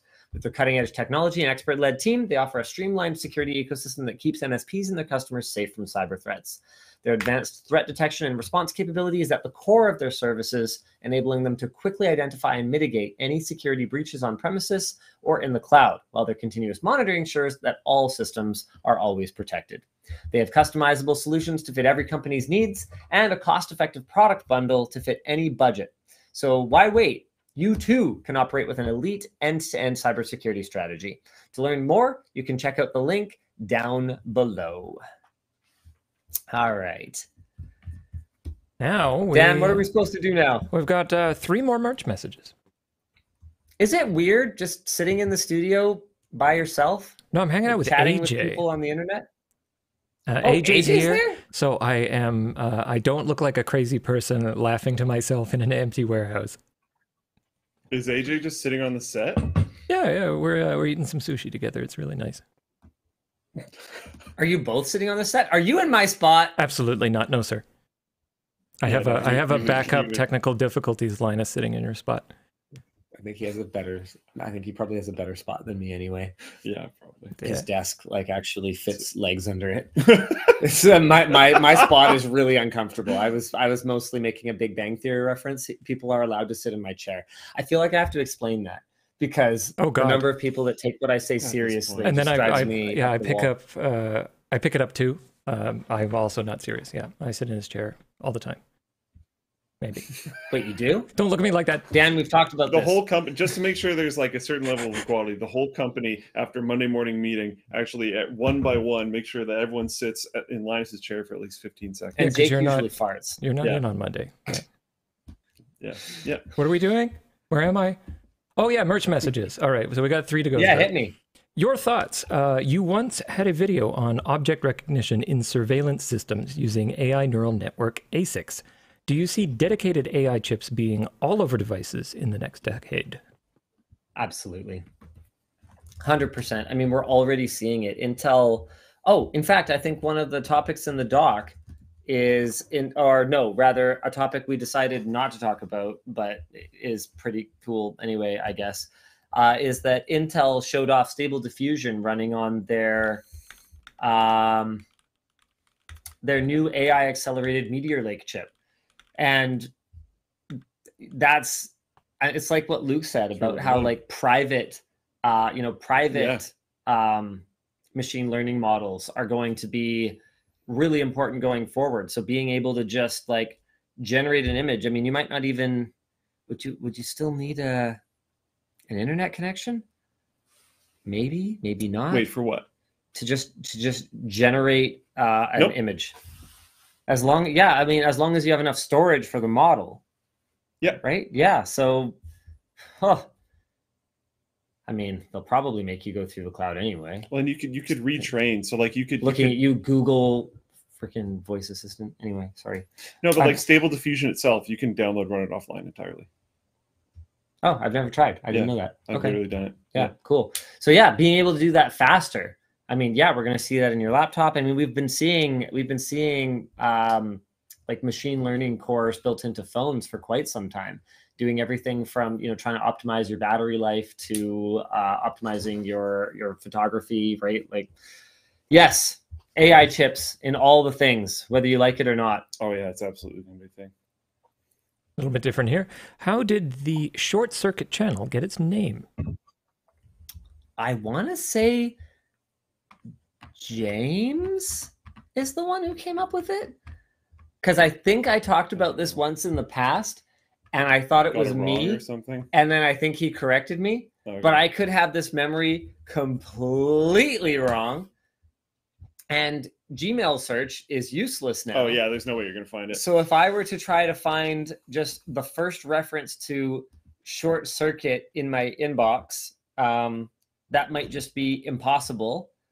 Oh, good. Jono used to have short circuit in his stupid email signature. So I have every email I ever got from Jono here. Perfect. Um, You, you, I don't think you're gonna find it. I mean, isn't it kind of worth a shot to see the the conversation that we had around it? Here we go. Top names for new channel. Oh. Wait. Whoa! So the name It came was for a Riley. thing. So this is when we were okay. Okay, this is fun. Uh, top names for new channel is the subject line from Mr. Nick Light, February 2018. Tech Careful, because apparently we might end up using these in the future. Ah, we're not going to use any of these. these Okay. Um, tech linked or clinked, pronounced clinked. So it's like an abbreviated ch, like tech linked. Uh, we didn't end up with clinked because that was dumb. Um, tech brief, brief tech, brink of tech, tech point, uh, kind of like a tip. Um, best and latest in tech, BLT. We we have always liked the Um, acronyms. Quickie news. Quickie news. Ah, that quickie news held on for a little while. Yeah. Remember that. Um, The cash. and then I I reply. I actually like tech linked best out of them, adding Riley for his thoughts. Uh, the three that I kind of liked were tech linked, tech point, and quickie news. And then let's see, Riley pitched in with I gotta say, I find myself gravitating toward tech linked as well. We were trying not to do tech linked because it's just it's so close to netlink. well, but that was why. Yeah, no. Like that we're just like what if instead of net linked it was just tech linked anyway like we even though it was my suggestion i was also kind of trying not to do it. This one's pretty Uh, good. I wouldn't say that. so riley pitches in. He goes yeah i find myself gravitating towards it as well but i feel like there's so many shows and sites that have tech in the name so i'd be less inclined to want that. I've got a couple more to throw in the pot and one of them is a really good idea that we might use someday so we're not going to say that one. But he goes what about short circuit? That is the first reference to short circuit so i think it must have been riley. We had some discussion. Um, short circuit lost because of the movie dot dot dot problem. Uh, kind of sounds like inside track which you know is good but the movie problems. There's a movie called short circuit. Ah, so we made our name ultimately when we launched short circuit totally different by making it one, one word. word. Got him. Searchability. Let's go. Yeah. Yeah. That's that's wild. I I I did not know that it was Riley, but it appears that it was totally Riley. Whether we realize it or not, is it is it possible? Oh, okay, hold on. Short circuit branding discussion. What is this? Uh, this is a doc. Uh, meeting notes. This, this is amazing. I, I, I love just like poking around at this old stuff. Our objective for this meeting attendance Nick, Jono, James, and Linus. Objective establish a baseline for the new channel's logo and branding direction. Meeting notes should the name be one word or two? Um, Linus wants it wants it one word name and he likes it. it this I, this is someone else's notes. Nick, it should be in all caps if it's one word. Linus wants one word, big S, big C. Guess I won that. Executive flex, short circuit, big S, big C. Uh, the reason I care about that, I was I, I, wasn't just trying to be a jerk about it and just be like, no, this way, um, because I like being able to abbreviate things. SC is easier when you like clearly see the SC. Next up, color than graphics. Colors, pink and yellow, says Linus. Baby blue and pink, says Nick. Linus wants eye searing. Nick says yellow is very aggressive. And if you're looking at it on a screen, it can be offensive. Linus wants to see options. Yellow and pink, baby blue and pink. What did we ultimately end baby up blue with? and pink, I think so. Or Baby blue, pink, orange, and purple, Purple. and white. So that's and something. yellow. And yellow. They're all in there. Every color. no green, no red, no navy. Um, and I, yeah, I think I think none of those ended up making it. 80s styling, digital branding. Both of those kind of stayed. Yeah, ah, this is so cool. How, how did how did things come to be? There you go. Uh, these are the kinds of meetings that we have that I never want to have again. like, I, uh, I shouldn't even say that because I do I do enjoy the I was creative process. say you like some of that stuff, and that actually does fall under vision officer, sir. So good luck with that. I just I can't do all of it. That's the thing. I can't Yeah. be in every one of these meetings anymore. Yeah. Like it's exhausting. I'd rather be on the camera on short circuit. Mhm. All right, Dan, hit me. Sure thing. But that's where you have like channel managers. Like, sorry, one sec, Dan. That's where you have like channel managers because like Riley is working on Game Linked, right? Yep. So like i he's the channel manager for Linked in general, as far as my understanding goes. So like I'm sure he has more play into the that type of like. Were you involved in the picking of the primary colors for Game Linked? No. So we've moved on. I actually first saw the logo live on WAN show when I was like, oh, there's a channel for it. Yeah. Uh, by the way, uh, it's driving Riley crazy how much I keep talking about Game Linked on WAN show because dang it, Linus, it's not ready for launch yet. Um, so if you wanna if you wanna bother him, go subscribe, to subscribe. Game Linked Yeah. because the more subscribers are on it, the more he's like, oh, Linus. You keep talking about Game Linked. I wanted to do a big, a big surprise launch. The surprise is over, so you might as well get subscribed so that at least he can launch the first video and it can get a ton of views because you guys will all get a notification Yeah. and you can watch it and it's going to be awesome because it's going to be tech linked but games and you guys are going to love it. Oh, right, the pool. Okay, Dan, don't let me forget to talk about that after this one more merch message. Okay. Hey, LLD. I love to see Luke back on camera, and the two of you work. Uh, you two of you really work well together. Uh, what were some challenges with Luke returning, and will we see more of him? Perhaps a short circuit? it was really hard to walk from the WAN set over. that was very tough. especially Uh, because you were waiting for WAN to start anyway when we did that PC cleaning products video. Yep. Uh, I mean, if we're gonna be late for WAN, we might as well both be late for WAN. yeah, Um, yeah, I don't know. What, what were the challenges with with you returning? I I- genuinely don't know. I think the biggest challenge with bringing Luke back on camera is that compared to when he used to be on camera, he has a lot of work to do now. Oh yeah, like I don't have the time to do it consistently. There's no way. Yeah, I'm excited about Game Linked because the prospect of being able to just like and and Tech Linked and stuff like that, where I can just show up on set, do it really quickly, and then leave and go back to what I'm doing, is like a lot more feasible than needing to go through the whole process for like an LTT video or something. And that kind of worked in in this scenario that we're talking about with the with the cleaning products video, because like you said, I was just waiting for WAN anyways. So my my work was pretty ineffective. So it was like oh, i can wait over there and like clean some stuff. So it just worked. I don't know but yeah i got a lot of stuff to do i don't i can't do videos all the time i enjoy it it's fun but yeah. All right. Pool? So the pool company we contracted is GRN Pool and Landscape.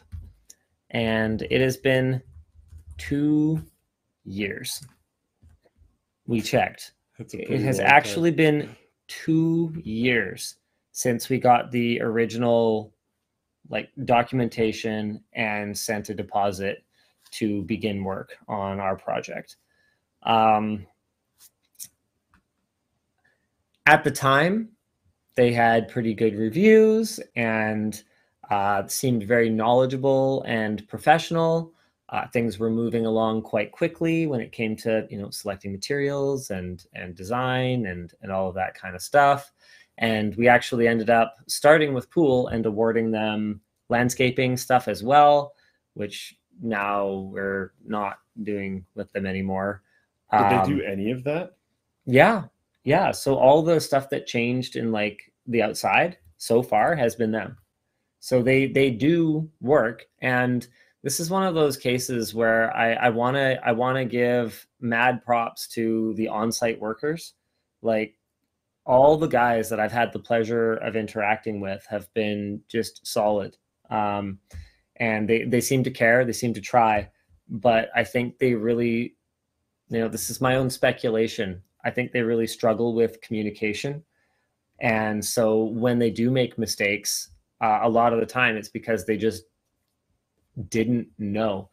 So this company has screwed up or just not shown up so many things. Um, and some of it's just like you know oh that could have easily been a misunderstanding um, like for example the all the tiles um, this could have been a communication issue i don't know but they were all supposed to go one way and instead it goes one Oh, way down the sides and it goes this way down the so Yeah. like looks stupid It's a little weird. uh, they used a different color of grout for like the sandy grout around the pool and the ones on the deck. And it's like these are obviously like first world problems. Um, but they, oh my god. Uh, oh oh yeah, this was uh, this was this was a this was a really good one. Um, our interior contractor, who's a totally different contractor, we're really happy with those guys. Might as well shout them out too. Shermar um, showed up and was like, "Hey, I couldn't help noticing they were digging really close to the house, and they've done nothing to support these these footings for the upper balcony."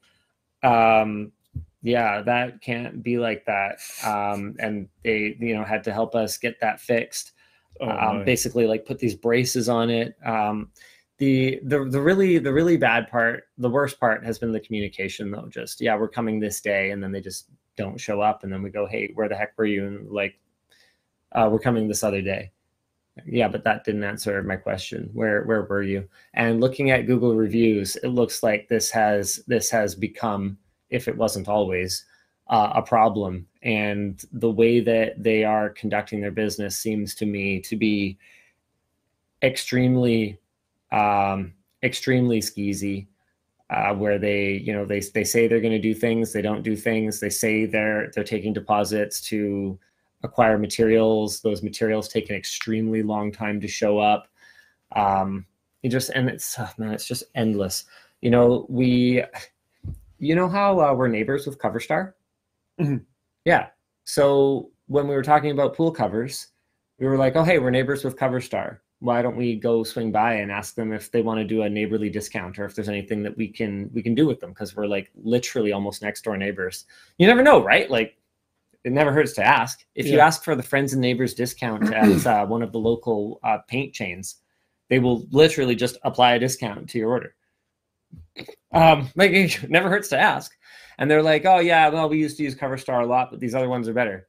And then all these like 18 months later or whatever, they're like, hey yeah, we're getting the sizing done. CoverStar is coming out to measure it, and I'm like, which is fine. I had no problem using CoverStar, but you could have just told me that, and then I could have asked them if we can get a friends and neighbors discount. Yeah. Um, and like, you know, in, in a very early version of the statement of work, it's very clear that we wanted in wall stairs. Because I really like in wall stairs. I don't like the ladder hanging in. Yeah. Like harder to clean, pain in the butt. Um, and like it wears just out like feel stuff. way more stable. Yeah, I just I just wanted in wall Yeah. stairs. Yeah, it's nice. And so, you know, they sent us a bill for first of all, we noticed they weren't there. And then we're like, hey, they're not there. And they sent us a bill for what it would cost to add in wall stairs. And we send them the thing that's like, hey, this says in wall stairs. And it's been a year and a half. So there was some verbal communication in addition to it just being written on the thing. And so it's not actually legally binding that they were definitely doing it. But then there's one other Google review where the person also says they asked for in wall stairs and then we're billed for it later. Um, so maybe this is just a play. I don't know. Um, but long story short, the challenges are, and you- you're probably asking, like, you think you guys would have learned, you know, why do you keep working with them? And there's not a lot of pool contractors in the Vancouver area, and particularly for concrete pools, there are even fewer. So you're you're sort of at the mercy. They they take deposits, which, um, you know, yeah, you're right. Maybe we should have stopped giving them deposits, but we always kept being told, yeah, no, we're gonna we're gonna, you know, we're gonna get it you know, we're going to get it done soon. We're so close. We're so close. We are actually extremely close right now. All they have to do, the slab's already outside. All they have to do is put the pool equipment on the slab and cut in the stupid in wall stairs that I asked for. Um, and do the uh, install the cover and then put on the uh, whatever the, the material they put over the concrete on the on the inside of the pool is. I forget what it's called. It's like some plaster or something, something like that. Uh, and it's like a couple weeks of work, and we've been sitting here with a couple weeks of work left in the project since like March or something like that. Uh, and it's it's like constantly like this with these guys. They finally acknowledge now, so this is I guess an improvement since we gave them an ultimatum. We were like, hey, you guys need to show up and start working continuously starting on this day, or we're going public with this. Like it's not the kind of thing we like to do, but I, this is ridiculous. And you you basically um, yeah yeah you, you, you earned it. Um, so they finally admitted to us that yes, they're pulling people off our job and putting them on other jobs. And we're sitting here going, no. Um, our project has been pending for two years Yeah, And- this is the second summer it's gonna miss. and the delays have been from you guys not from us these were not our fault we've always we've always paid promptly as promptly as we can given that yvonne finds all kinds of billing irregularities because she's yvonne. Um, and so it takes a ton of time. It has it has taken an inordinate amount of time for her because there'd be no communication from hq so she would have to go out every morning and tell that she basically had to project manage it when they were doing the landscaping because nobody told anybody anything. So they ended up doing all kinds of dumb stuff, like digging up a trench in the wrong or like they, they dug up this uh, drain thing that they ultimately had then covered and then had to like dig again, retrench it, and then put a new one in because they just like didn't have a drain anymore, um, allegedly. yeah. So I'm I'm extremely frustrated, and that's why we haven't been able to do whole room water cooling for the server room because um, even though Shermar's plumbing guys did a great job of putting in all the all the piping and everything that we needed before the concrete did finally or the shotcrete did ultimately get put in. Um, there's nothing to, there's no pool to act as a thermal mass. So, you know, again, I want to be very clear. This is a first world problem. I get it. Uh, But also, when you pay for something you should probably and you shake hands and you have an agreement, then you should probably get that thing.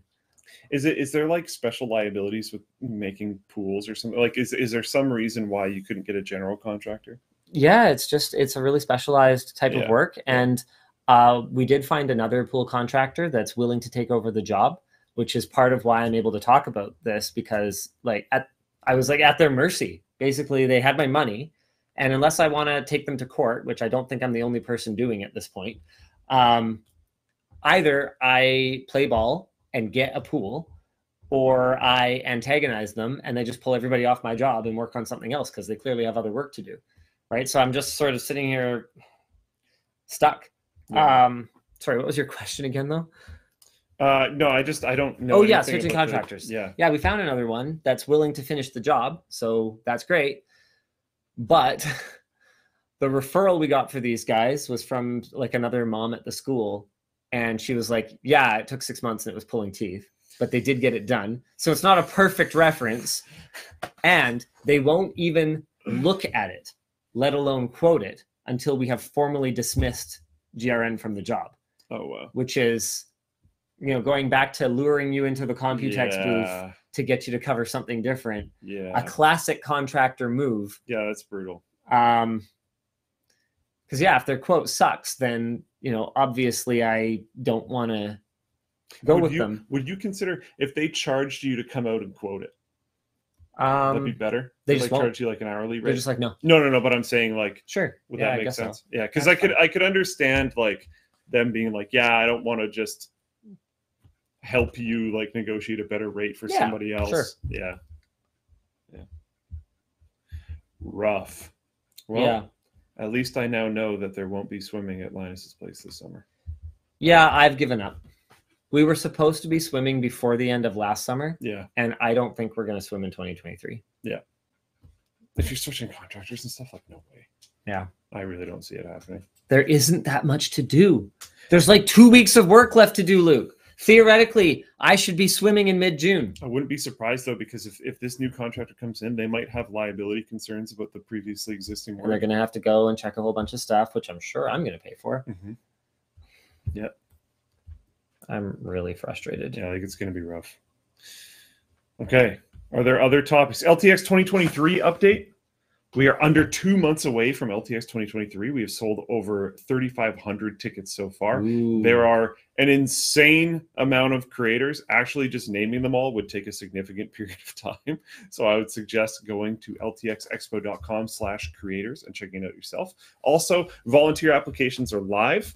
Um, okay, there it is. It's not a link for some reason, but you can sign up to volunteer by visiting ltxexpo.com slash volunteer. Applicants will receive confirmation starting Monday. Uh, some things that you can do at LTX. There's a PC building workshop sponsored by ASUS where you can learn to build a PC from start to finish. Great for those wanting to know where to start, or potentially a fun way to like show a partner or a friend how to do it. Um, there are 20 different stations with workshops happening all throughout the event. Uh, there's a Space Cadet pinball sponsored by Hyte. Uh, eight different stations of Space Cadet pinball on custom LTX rigs, and there's a high score leaderboard with prizes for the highest scores. Uh, there's racing sims sponsored by, Blackpoint Cyber, seven awesome racing sims with D-Box haptic systems, integrated leaderboard with best laps of the day as well.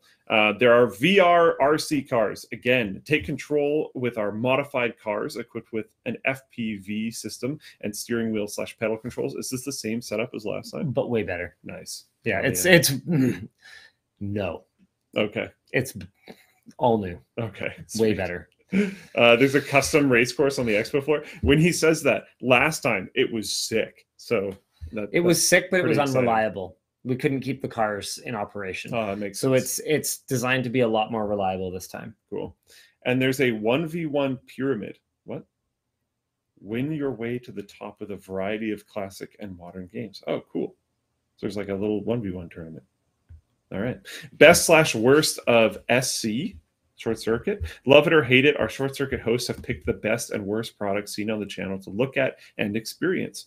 Uh, DIY Ethernet cable. Learn how to crimp and make your own Cat 6A Ethernet cable. Take it a step further and see if you have what it takes to build a cable as fast as possible.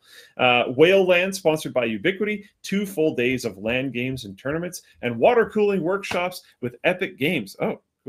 Learn the ins and outs of water cooling from AIOs to custom hardline loops. There's also PC Building Simulator 2 will be featured at the booth, booth if you uh, want to create a virtual loop instead. Get your tickets today at tickets.ltxexpo.com. I am pretty hyped. I'm really excited. That was a very uh, consistent topic of conversation throughout Computex, talking to other creators. They're like, yeah, See you at LTX, man. Man, there's so many creators. Tech Tech Potatoes coming. So that's Dr. Ian Cutress, uh, Toasty Bros, UFD Tech, Stacy Roy. Uh, Taran's apparently coming. Taran Van Hemert is on the list. That's funny. Um, I, I didn't negotiate all of these necessarily, so I, some of these I'm finding out for the first time. Snazzy Labs is coming though. Serve the Home's coming. Sara Dietschy, Christopher Yee, uh, Pedro from PCMR is coming. Uh, Paul's Hardware, Epos Vox, Electro Boom is going to drop Yeah. by. Yeah. Uh, David Imel from um, uh, Marques's team, Craft Computing, Coalition Gaming, Chris Titus Tech. That this is just uh, Brandon Wiley is coming too. Oh, that's awesome. That makes sense. Um, Ant Venom's coming. That- Man, there are so. der8auer's coming. Hardware Canucks. Uh, Eber from Hardware Canucks is coming. Uh, Greg There's, Salazar. like- JayzTwoCents. Actually, too many to name them all. So Yeah. again, I would suggest checking out the creators pages. Yeah, because it's actually going to be nuts. yeah. Strange parts. Ah, this is this is awesome. Hey, uh, oh crap! I'm an idiot. Uh, I forget. I always forget if his name is Corey or Carrie, but the Phawx, uh, who really specializes in handhelds and has been just killing it lately, killing it. Like, look at this view to subscriber ratio. Wow. 76,000 subscribers, but regularly doing 20 to 80,000 views a video. Getting more views than your subscriber count is pretty sick. That always means you you you did a you did a banger. Yeah. You did a banger. ThioJoe. Theo Joe making an appearance. Love it. Okay. What are we supposed to do now, Dan? I'm lost without our cue cards. I feel I, like I- we're- yeah, I, I we're- forgot to mail them to you. Uh, well, let's see. We technically have another 10 minutes until WAN After Dark. Uh, but we do have a Merch hell of a lot of the merch messages. Uh, so WAN in the morning, Really, I'm surprised there's that many merch messages. We uh there's a lot of really good questions today. oh. Oh, there's not. Yeah, there is actually quite a few. Way to go, Luke. Um, Gaslighting okay, me well, to my here- face. wow. I mean, it's it's been a lot worse. You're is- is what basically an trying to say. abuser. Oh my goodness. Oh my gosh, Luke, the doc wasn't done when we were looking at this. There's like huge stuff in here that we haven't talked about yet. Um, thanks, Riley, adding all this stuff that we absolutely have to talk about. Okay, where are we at? Where are we at? Where are we at? Diablo 4 developers do a Uh, Q&A with fake Oh yeah. slash softball fan questions. This is extremely not surprising. This is amazing. yeah. Okay. Games Radar's Future Games Show interviewed the art director and associate game director of Diablo 4, asking fan questions like The cutscenes in D4 are gorgeous. How important was it to get these as high quality as they are in the game? Uh, Twitter user Phil Tacular looked up the social handles of the fans who submitted the questions, and they were a mixture of inactive accounts made years ago or extremely recently. Uh, when uh, okay, to be fair, that might be fine. Yeah, it might be people that just have throwaway Twitter accounts, Yeah, because I but also it wouldn't have been all of them. Uh, for sure. Yeah, yeah, yeah. um, when asked for comment, Blizzard said they were not involved in the process of gathering questions. After much discourse, the Future Game Show posted an update via a comment on the original interview saying, We messed up, in quotes. Basically, they claim many of the questions were legit, but the social handles were randomly generated to protect the original. What? Original users randomly generated, but they landed on actual handles? Cool. What? I'm sure that's against at least someone's terms of service. That's weird. Um, okay. Uh, moving on. We we got to talk about this one because it was actually called out at the beginning. Dolphin Steam launch postponed. The Dolphin emulator team has announced that its planned Steam release has been indefinitely postponed following a letter written from Nintendo to Valve citing the Digital Millennium Copyright Act or DMCA. Uh, which is kind of rough. Making matters worse, Valve confirmed that they reached out to Nintendo first, presumably because they knew that as a platform hosting Dolphin, Valve would be. That makes matters worse. That's just not surprising at all. Uh, Valve would be in the crosshairs of Nintendo's lawyers, obviously. Yeah, that makes Yeah. sense that they would have done that. Um, as Dolphin had not been released on Steam, the letter is more of a shot across the bow, warning Valve that the emulator's release would violate the DMCA. Would it though? Okay, well here, sure. This is this is I guess the argument. Uh, Dolphin's code contains the Wii common key. yeah, that sounds like a Nintendo's proprietary code for decrypting Wii games, which is a 39 digit number that is well known, so I won't paste it here, says our writer. but but having that in the thing like that does actually make sense as to something that you could go after even it is if it is commonly known or whatever Some other emulators require the game files to host such keys instead, which is arguably legally safer. Um, n- not that we know anything. Mm-hmm. Allegedly, this is not legal advice, etc., etc., etc. Several law- lawyers have confirmed to Ars Technica that Nintendo could have a strong case should it come to a lawsuit because the inclusion of that key. Yeah, exactly. Yeah. A spokesperson for Nintendo said using illegal emulators or illegal copies of games harms development and ultimately stifles innovation. Discussion question Nintendo being an asshole is one thing, but is there anything else Valve could have done other than poke the bear? I don't think so, to be completely No, I mean they were going to be. Uh, Valve is no stranger to lawsuits. You know, at their scale, it just happened. I mean, we uh, we talked about this recently. What was it? The uh, the con- the haptic or the Rumble on the Steam Deck or something like that has some patent troll coming after them right now. Yeah. Um. I, I, as much as I have pointed at Valve in the past and been not happy, uh, this was very reasonable of them to do. Yeah. As for whether using emulators, which by the way are not illegal in Nintendo, Yeah, Um, as for whether that ultimately stifles innovation, I, I would say that playing Tears of the Kingdom at 4K 60 FPS with improved visual fidelity is innovation, and your crappy hardware stifles innovation. Um, this can go boom. both ways. bucko. boom, got him, Yeah. got him. Um, speaking of stifling innovation, did you see the Reddit API pricing conversation? Yeah. By the way, can I help you with this? What the hell, man? Did you not even do this, bro? Oh, I actually like the separation. Oh, It helps my brain. All right. Well, I'm sorry I broke your brain then. No, it's fine. Okay. Not the first time. yeah. um, Christian Selig, the developer of the popular Apollo iOS app for Reddit, says that Reddit wants $12,000 per 50 million requests. And this is a quote here. Apollo made 7 billion requests last month, which would put it at about $1.7 million a month. The average Apollo user uses 344 requests per day, wow. which would cost $2.50 a month. That means even with only subscription users, the app would be unable to break even. Imgur apparently charges Apollo $166 for the same number of requests. That is literally almost an order of no. Oh wow, almost two orders of magnitude less.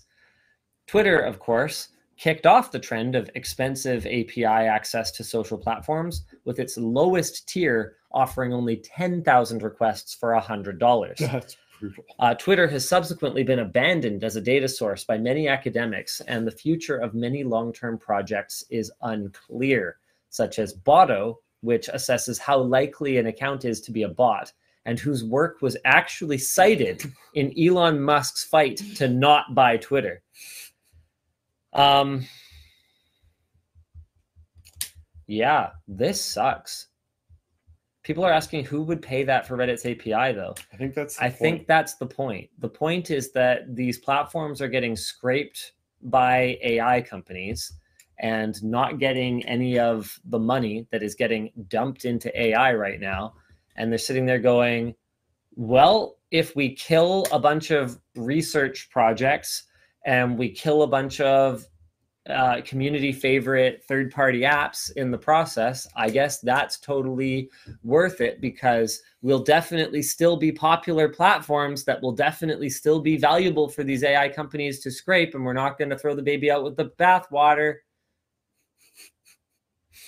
Yeah, I don't. I, I don't don't know, what's going to happen in that regard, uh, but it's not surprising at all to me.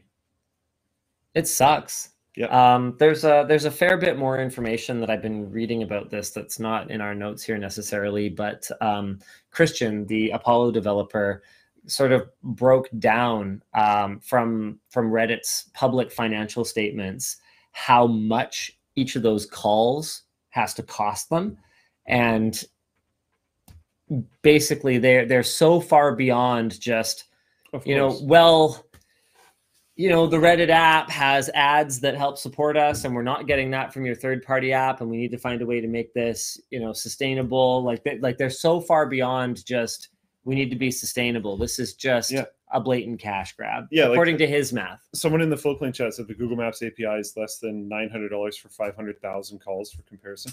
Yeah, I, I I said this with the Twitter one too. The goal here is not to make it affordable or for to make it make sense. The goal here is to crush third party apps. Yeah. Like yeah.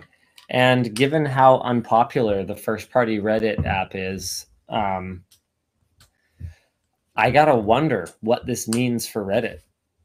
Like, will no one's safe? Where's Slashdot today? Where's Digg? I do agree with that, but I, I feel like we've been in a actually surprisingly long period of internet stagnation now. Yeah, but it's like that article I sent you before, the enshittification of Yes. everything. Yeah. And I think the reason that everything is coming to a head Good. right now is because we also went through a period of basically unrestricted money hose flowing into technology, into into web however many point oh companies, right? Yeah. And so now that that now that that spigot is getting turned off and it's all going into ai or it's going into uh, you know finding new ways to make housing unaffordable for regular people Ah, good. um, i think we're seeing these companies pivot to hey we we just need to like make money to please our shareholders right we we can't just be in this in this growth phase we can't be in a pleasing the the user phase anymore And even if if because I, I know some people are going to sniff at that and be like, oh yeah, but no companies are going to pay this API fee. That might be true. I don't think they're necessarily expecting to make money off of this, but I do think a significant effort is being put to hamper how much other people are able to make money off of your stuff. yeah Yeah, just just putting up walls Like, no, if if someone is using Twitter, we want them using Twitter through our own means. if someone is using Reddit, we want them using Reddit through our own means, etc. Yeah. Yeah. Someone in Floatplane chat, Run Jun, said, My Reddit account is 15 years old. I'll be leaving once they kill third party apps. Uh, to be completely honest, that'll probably be good for you, anyways. Hey Uh, iOS says the first party Reddit app makes thousands of tracking calls to the web that my Pi-hole went nuts blocking and blew the log files out to gigabytes. Um, so yeah, there Yeah, are just- reasons. Just There are reasons they want you using the first party the first party tools, and they're not always user friendly reasons. Oh yeah, they, they rarely are. Then just stop using. Like, is is your life actually enriched by using Reddit? Maybe, but probably not as much. As can as be Reddit's do. a really good resource for like how do I fix this problem? Reddit. I, I don't know if I'm just being cynical here. Maybe I am, or pessimistic, or whatever. But I think most people doom scroll instead of gather information in that way. I have found that a more effective Google search for a while has been the same Google search that you would normally do, and then you append Reddit on the end. Yeah. that's kind of unfortunate. It just shows Google going down the hole, to be honest. But um, if you use it in that way, that's kind of its own thing. And if you use it in that way, you don't really need the app either. If we're being honest. oh, I Um, don't use the app. Yeah. So I, I just whatever. I, I actually have just like a muscle memory uh thi- like there's no way to get rid of the notification as far as i can tell on mobile when i'm just on the web because i i can't find for what i do on reddit i can't find any reason to use an app instead of just using my browser. I i, I can't think of one. All i want to do is read things from time to time and post even more occasionally. Um and so it, it prompts me like every time i load the site Reddit's better in the app. You want to use the app? No, no, no Yeah, not really. no. I, I don't even. I don't. It bothered me for a long time, and it definitely hasn't gone away. But it doesn't bother me anymore because I just no, Yeah. no, yeah. no. I think I'm good actually. Yeah, someone in Floatplane chat. Uh, my husband absolutely doom scrolls. He doesn't learn anything useful 99% of the time. Yeah, I think that is the standard approach to using Reddit, to be completely honest. Like, I- I think most people that use Reddit could benefit very significantly from using it way less. Um, but that isn't saying that Reddit is useless. I find it very, very useful for like information. Um, Yeah, a lot of times when I do that Google search and I append Reddit, Reddit is like actually the best source. And I do it because I have done it without Reddit at the end and found nothing useful, and then done it with Reddit at the end, and then finding very good answers from.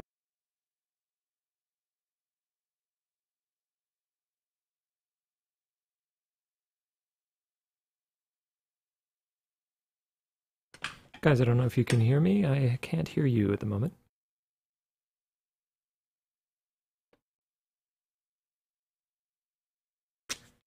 Hello? Oh, man. Sorry, chat. Hold on a second. Tap, tap, tap.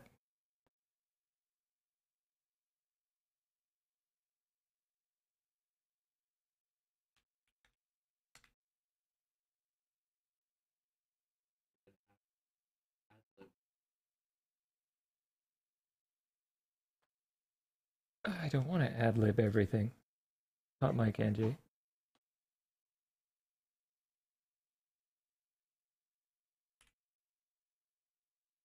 Well, I guess it's just it's just me now.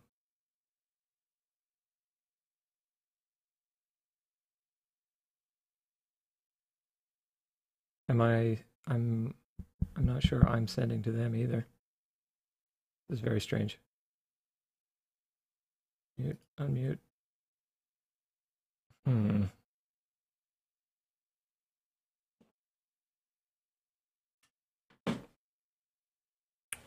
I'm going to go ahead and restart this browser tab. I hope you enjoy seeing the thing that I put up. Yeah, there we go. Join. Hello. Oh, Are you there? Hello. Hi, Dan. Hello. Oh, Okay. he disconnected. Oh, I did notice there was only one person in call, but I thought it maybe didn't show yourself. I and he was showing Thanks. that I was still connected. I could still see your camera feed because your camera feed is fed directly from your call, but I think we lost audio. Okay, cool. cool. All We're right, back. Are we back? Not my fault. Goodbye. Well, it's not my fault. I think it might be. Must be Luke's fault. Uh, maybe we can. we By can- proxy, it's Luke's that. fault. Yeah, I'm down. Oh, that's true. I mean, poo rolls down a hill, so Yep. up a hill. Poo rolls up a hill. That management is to blame when someone does something wrong. So Does that mean poo rolls up a because you're hill. above me? So I'm not anymore. Or wait, it's not July 1st yet. yeah, get on. Oh, okay. Yeah, it's my fault. Yeah, it's Linus's fault. he got him. I uh, want to give you guys a little update on the eating disorder helpline chatbot that we talked about previously. Uh, they have paused their plan to switch from human staff and volunteers to a chatbot That's probably good. after users found that it was easy to prompt the bot into recommending calorie restriction, food avoidance, and frequent weigh ins, even after the user said the doctor advised them against dieting due to their eating disorder. Um, I mean, the weight loss advice was broadly accurate, but the bot lacked the ability of a human to guide the conversation and simply reflected users' preoccupations back at them, potentially reinforcing anorexia and bulimia. Um, when posts about this issue drew attention online, NEDA's communications and marketing vice president commented on at least one post calling it a flat out lie. But then the next day, the chatbot was taken down. Uh, they described the issue as a bug, thanking the community members who brought this to their attention. That's a bit of a pivot. That's a flat out lie. Thank you for bringing it to our attention. I know that this wasn't an AI chatbot. Yeah. So it's not really on topic in terms of the AI revolution that we're undergoing right now, Or or like bubble, or whatever. technology. Yeah. Um, however, it does raise some interesting questions about what it's going to look like when someone inevitably does do this with an AI chatbot. Um, and so I'm glad we talked about it. I'm glad we have an update for you guys, and I'm glad that we can move on to talk about the MetaQuest 3 coming this fall, 499. Have you seen pictures? Just in this doc, actually. It is 40% slimmer with full color pass through, higher resolution, better controllers, and the Quest 2 is getting a price drop to 299 for 128 gigs on June 4th. That's right, a price drop from so wait, is it Tell me something. Okay, hold on. Let's just let's just play a little game. Drop. Okay, what about this? Oh. Oh. Fake What about this? Is that is that toss. Is that a drop? a price toss. A price. Should price we start toss? calling like uh, Amazon sales price tosses? Yeah. This is extremely loud.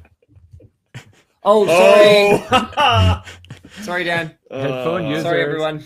That's okay. But Good, but good it's funny, demo. right? Was it was it at least funny? It's, it's pretty good. Okay, pretty cool. good. So it's back down to the regular price and just in time for Apple's headset on Monday. Let's go. That I am much more interested in. Just saying. I've had some interesting debates with people about this. I, I had my first dinner with a billionaire. I'm not going to name them, but uh, very, very interesting person. I wonder. Uh, super smart.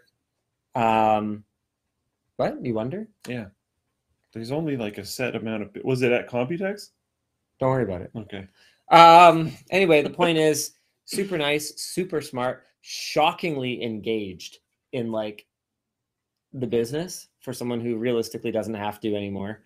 Um, and uh, we had a really cool conversation about Apple, where they basically were like, "Yeah, Apple's really great," and I was like, "Yeah, Apple's really great until you like get into their sort of hypocrisy and the way they treat their users, like." Oh you want to update the firmware on that product you bought? Oh you haven't bought enough of our products? Ooh. Oh that's too bad. Um, and you know Go borrow someone else's. yeah some of their business that they are quite invested in. You know i'm going to keep things very vague so that it's really difficult to pin this down. Uh, but some of their business that they're invested in uh, has it takes a very principled approach to to product development and and to billing for their customers. And you know i really respect that. And so um you know i i uh i felt like i wasn't just talking to someone who's like well of course apple should do that. They should just make more money. Like it was it was a really great conversation. And we steered back towards apple later on in the conversation because they sort of asked me to to speculate on apple's vr headset. And i kind of went look um, I know that this sort of flies in the face of everything I just said about Apple because I said a bunch of negative stuff, but that doesn't mean that I don't acknowledge the positive that, that they do, and that doesn't mean that I don't respect a lot of what they do and their and their technological innovation and all that. And I think if anyone's going to do this, I think it's Apple, and um, I think they're gonna I think they're gonna follow a really similar playbook to the one that I recognized with the Apple Watch. Um, and it wasn't the first time they'd done this, but it was the first time that I was red pilled enough to figure out what it was that they were doing. Do you remember what went down with? red pilled enough. Yeah, What? just just like you know, reality aware enough. Whoa. What? Okay. Uh, I I know that it has like stupid like negative connotations or whatever, but I'm I refuse to I refuse to see it that you're, way. you're going with like movie reference. I'm going with movie reference, I The Matrix. that. Yeah, yeah. So, um, so do you remember what they did with the Apple Watch? They didn't they just like wait, observe other people doing it wrong, and then do it themselves. Well, yeah, That's they the did. standard. they did that to a degree. but they released the Apple Watch, right? As long as it's not the little blue pills, Linus. What's wrong with that? I mean, you know, you wanna, Things happen, okay? You, want to please your partner, right? You need a little bit of help. Nothing wrong with that. It's not. Life isn't about holding each other down. Okay, sometimes it's about lifting things up. Um, anywho, um, what they did with the Apple Watch was they released it as the Apple Watch, and then when the next generation product came out, all of a sudden it was like Apple Watch Series One or something like that. Like, remember the branding was kind of funny around it. And what they did is they retroactively like retconned the Apple Watch being the Apple Watch, and they changed the name to Series Zero and then like really quickly software support for it like Oh, kind of went like it wasn't getting the latest features and it got kind of I knew about that. yeah it got kind of like b tier long-term software support and was sort of was sort of treated as was sort of treated as like a a, a, a lesser product. It kind of it kind of went away. And what i figured out at that time was oh this is the apple version of a dev kit. They just it's like minimum viable product it's Yeah, that makes sense. it's it's acceptable enough and um you know, as long as we and and and the hardware is like underpowered, it's slow and it's crappy, but we're just gonna kind of like support it for as long as we kind of have to. And the new ones are so much better that most people probably upgrade anyway. And oh, I hope they didn't buy the gold one. Uh, and and and it just kind of quietly went away. And it wasn't until later that I realized that oh, apparently Series Zero is an unofficial name. They just oh. called it Apple Watch first generation. and they released a series one that was an upgraded version of the original. Okay, so there. That that was the funky branding. So that's why people called it the series zero, because the the first one just like sucked. It basically got treated like an experiment. And it's not the first time they did that. The iPad is actually another classic example. The first generation iPad was so much worse than the sec- the next generation iPad. It was way slower. It was fatter. The battery life sucked. It was so much worse that I forget what the exact numbers are, but I think it ended up getting software support for something like half the amount of time compared to the iPad 2, which was back when Apple had sensible product naming schemes for at least some things. iPad, iPad 2, simple, right? No. Anyway, um, and so this is this is kind of a thing they do. The first generation iPhone sucked. It didn't even have 3G support, Mhm. right? Like it sucked. It was essentially a dev kit. And you could, I think you could make that argument pretty solidly for all three of those products. iterate when- off of that first one very quickly, though. I would- Exactly. yeah. That's what I'm saying. So I, so I was looking at this. I'm looking at all the. Oh my. Yeah, this is not a very good connector. Um, so I'm looking at all of the uh, the indications for the upcoming Apple Apple VR mixed reality, whatever you want to call it, the upcoming Apple headset, and it's like, yeah, it's probably basically not going to do anything out of the gate, and this technology is super immature, and it's probably going to kind of suck. And my initial like knee jerk reaction is, oh, it's not very Apple like to you know release like something it, that sucks But yeah, I hear you now. but it's actually very Apple like. they just also replace it really quickly. Exactly. So they released the first generation product to the public as a dev kit, but instead of charging dev kit like pricing, they charge retail like fat pricing. yeah. And no, no, dev kits are typically more. I mean, they charge like oh, okay. like yeah, yeah, yeah. consumer pricing, and consumers can buy it if they want to be part of the experience and live on the bleeding edge. But understand that this thing is probably going to go away in terms of software support because devs are going to come up with really amazing things that you can do with the Apple headset. And Apple's going to build new capabilities into that next headset. They're going to iterate fast, and you're going to get left behind. And as long as it doesn't cost too much money, I guess that's okay. Or maybe if it does cost too much money, I guess that's okay too, because you like giving Apple your money. Like, I don't think the iPhone really got good until the iPhone 4. And maybe that's partly just personal bias because that's when I bought an iPhone. But that was the first time I felt compelled to own one. Oh, I think, I think the iPhone 3G was still a pretty massive paradigm shift. That's fair. It felt extremely like cheap and I don't know. I don't know if I would say yeah. I don't It know if I would say if it was good yet, but it was still like that was still the big moment. I think, in my opinion.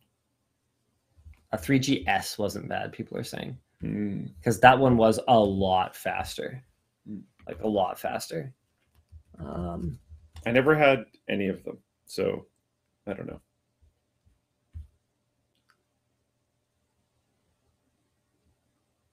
Is LMG invited to WWDC? no, um, Apple and I have no longer been friends on Facebook for a long time. I we were never friends on Facebook. friendship, friendship, not Never ended with. Apple. Yeah, friendship never started. Apple's one of those companies that um, you have to play the game. You have to you have to cover them the way they want to be covered. And my understanding is Mac Address actually has a relationship with Apple now. But I, um, the second I found out about that, I went, cool. I'm not going to be involved at all. Probably good. Which, yeah, is almost certainly for the best.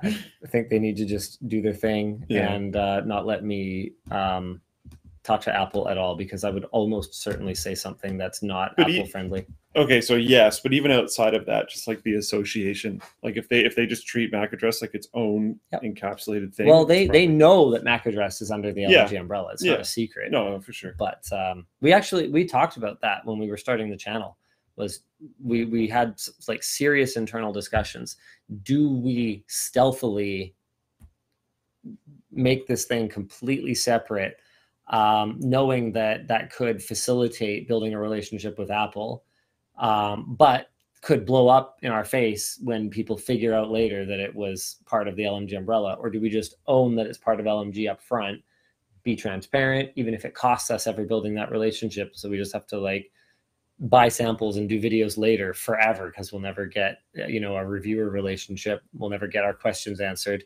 Um, knowing also though that the benefit will be that we can grow the channel faster. There's all these pros and cons, and ultimately we went with we went with transparency. Um, I just don't like I don't like drama. I just don't need it in my life. I think it's a lot easier to just be upfront with people Yeah. Which again like makes it that much more triggering for me when i see conspiracy theories about how i'm accepting you know under the table sponsorships from doing this from doing that. And that, if i was doing any of that stuff like look at the kind of turnover there is in the tech industry. You think someone would have talked at some point like about how much under the table money i took? Like whatever. Um I think we should hit up merch messages. let's hit up some merch messages We're at over three hours for the runtime. So what Yeah, I, I said you had 10 minutes left, and then you did like 14 more topics. uh oh want to go to lunch with dr Cutress after when uh, if I can bring Wendell, yeah sure because I was planning on going with Wendell. But Okay. meeting up with Dr. Cutress would be fantastic. 'cause I haven't seen him this whole show. Yeah, let's go Sweet. Um, man, now I'm looking forward to lunch. yeah, me Uh, too. okay, we're gonna do these merch messages pretty fast here. Uh, oh, okay. hey, cool. Andy, should we should we turn off the light? Are we turning off the light? Merch messages after dark. I mean, let's see how much of an effect it has. I kind of feel like not much. I could just take down the grade. Um, that's probably too dark.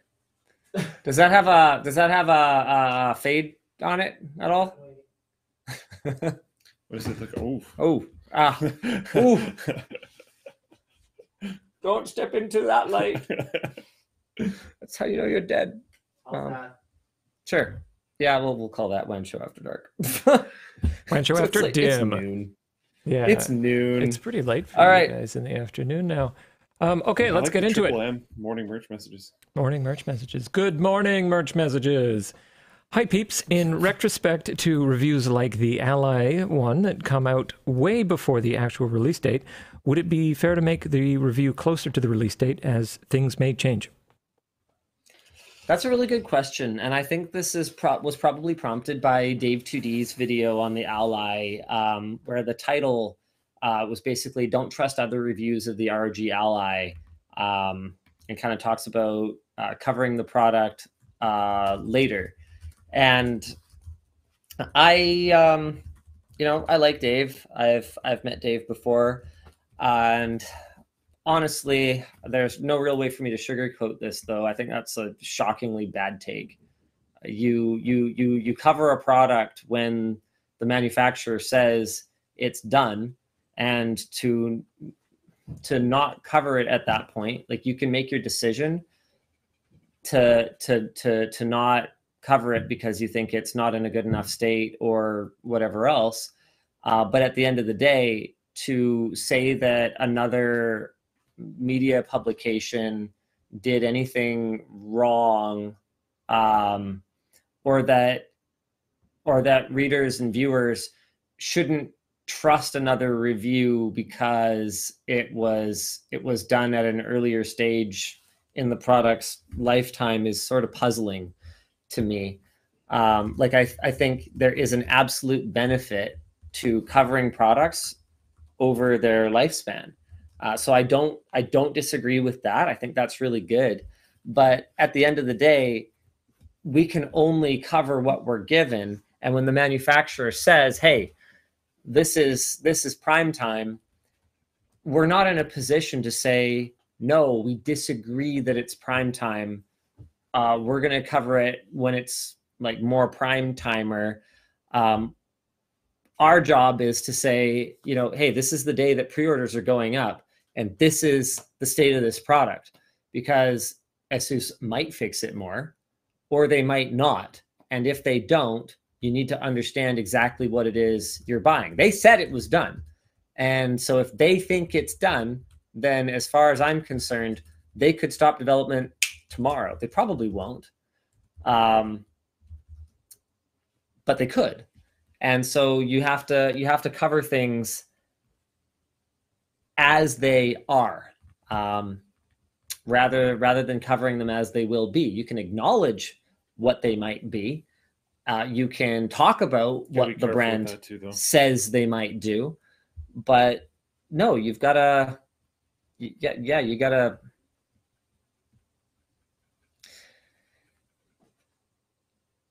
Eh. Eh. Next up, Uh, I forget what the actual question was. why don't you RG review Ally it uh, reviewing it closer to the release release date. date? Yeah. Yeah, no, uh, no. We we we should review it when ASUS asks for pre asks for pre-order money. They're asking for your money. As far as I'm concerned, the second a brand is asking for your money, we need to take a close look at exactly what you're getting for it. And then if that changes over time, hey, that's great. I mean, Valve's done a great job of that with the Steam Deck, but we can't take it for granted. And if other publications cover it closer to the availability date, a month after the availability date, six months after the availability date, I hope, Check them out. yeah, check it out. We had this conversation earlier in the show. We don't all have to say the same thing. You don't like Yes. it's not of particular benefit to you for like every single reviewer to release identical videos all at the exact same minute. Like just whatever. Yes, Game Linked is real, Lakeways and Floatplane chat. Go subscribe. Okay, up next is from David. What is the most interesting thing you saw at Computex that you thought wouldn't make a good video? Hmm. Oh, that's a really good That's a question. very good question. I like this one a lot. Yeah. Because you got two Uh, brains. You got two brains, don't you? Wow, this thing's cool. Nobody cares. Yeah. that happens to me a lot at these type of shows, but I wasn't on the show floor, so this is all Linus. Holy crap. Um okay. Yeah, I uh I swung by like the USB IF booth. Um and they had just like vendor showcases of of of cool tech that's coming and uh they they had um I think it was either a live demo or it was just some information on like USB 80 gig, like 80 gigabit. And I was like, wow. See you later. That booth is always fun to go by Yeah. and never worth making a video at. yeah.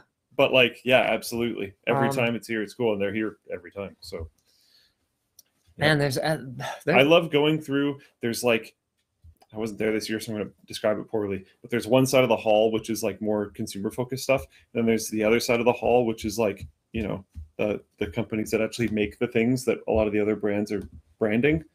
Um, going through that section is very interesting. yeah. I think we did a video on that one year actually. uh, uh, MSI makes a car charger apparently in Oh, some whoa. markets. That's random. So I was like, uh, okay. And uh, oh, I dropped by. I dropped by this company that makes s- switches with screens on them, and it's for it's for like aviation consoles and stuff like that. And it the, so not like key switches, not for like a keyboard. Well, they are, but not for a keyboard, but like for for like a giant dashboard, you know. Uh, and I was like, wow, super cool. See you later. Um, yeah, what else, man? That's uh this was like not uh not not video worthy. Uh, Supermicro had a really cool liquid cooled server. In fact, there's a ton of immersion and conventional liquid cooling server stuff. There's a lot of stuff at shows like this that, like, seven to ten years ago, we probably would have made a bunch of videos about. Um, but at this point, especially with how YouTube is doing things, um, if those videos aren't just like bangers, it can hurt the channel. So, gotta be careful. Yeah. Okay, hit me. Okay, speaking of hurting the channel, Linus, in the event of your death, who would you want to sponsor your funeral and how would the segue go? I would expect it to be dbrand. I would hope it was Yeah. dbrand as well. Yeah, that's like if my if my if my coffin didn't have like a Damascus vinyl skin on it, I'd be extremely disappointed. You have to your coffin and your car have to match. Yeah. Oh, I'm crying get- with you tears get of driven laughter. To the, you get driven to it in a hearse that is also wrapped. Well, yeah, they could. Well, no, no, it would. They it wouldn't need to be a hearse. They could just get the longer Taycan, rip out the back seats, and throw me in there. I'm, I'm thinking. I mean, you wouldn't even need to rip out the back seats. I'm not that tall. just, just stuff me in the trunk. oh boy. Yeah. So I, actually, you know you what? have like you have a, Yvonne do a speech, and she has to segue to a sponsor in the middle. yeah, I'm gonna ask for a commitment um, right now. Actually, Oh no. I'm no. gonna message. Um, I'm live on the WAN show right now, and I need you to commit to sponsoring my funeral if I die. Period. I expect the coffin to be wrapped in whatever your gaudiest, tackiest pattern is. Okay, I I will. I will. he uh, literally just sent that to dbrand. I will let you guys know. Um, what I'll let you know what they say, assuming they get back to me in a in a timely manner here. I think Oh, I'm crying. Oh fuck. Oh Joyce. Oh Joyce. Okay. Uh, hey LTT team, Linus, Luke. I have a question. Rewatching the Office moving vlogs. In them, uh, Linus keeps Hey. referring to having to move and inspectors making sure you are moved out. Did anyone kick you out? Yes. Yeah. See, you see, we had a certain caretaker for the property that never did anything. And so the neighbors got mad about the state of the property and started poking around and realized we were running a commercial entity there. Uh, the good news is by the time this whole thing came to a head, um, we were already planning to move anyway. So when the city came and said, hey, you guys need to move or we're going to start finding you like thousands of dollars a day, uh, we were like, hey, hey, whoa, whoa, whoa, whoa, whoa, okay, hold on, hold on, hold on. The only reason that we haven't moved yet is because of like city permitting issues. So like, can we chill? Can we work together to get us out of here? It was never supposed to grow this big. It was supposed to be small, and everything was fine. Um, yeah, and they were like, okay. so we got that all we got that all sorted out but it did mean that we had to get in there a little bit sooner than the building was actually ready Yeah. because our other contractor who we've worked with a few times and are mostly fairly pretty good okay Okay, pretty yeah. okay pretty good. Uh, martini construction um, they were experiencing some delays at that time. Um, overall shout out sharmar. Pretty shout out martini they're pretty okay. Um, not shout out grn pool and landscape. That's where i'm at Hey guys, from recent coverage, you clearly have a great relationship with reps from tech companies. As previously unshared stories of reps just coming through and helping you out big time? Oh, I mean, it's endless, right? How could we do anything that we do without help from these passionate people at these companies that you know just want people to to see and enjoy their products, right? Like it's, I I know it sounds really cheesy when I say it like that, but there is no there is no wizard hiding in the side room. There is no Scooby Doo. Aha! That like really is it for a lot of people who work in the tech industry and it's one of the reasons that like compensation in the tech industry kind of sucks because people are so passionate about it they just like really want to build cool tech products um, and that's a shame but it's also really cool that everyone's so passionate so i don't know what to tell you um, you know i want everyone to be compensated fairly but i also want to work with people who are super passionate and i think there are some employers that will always try to leverage that right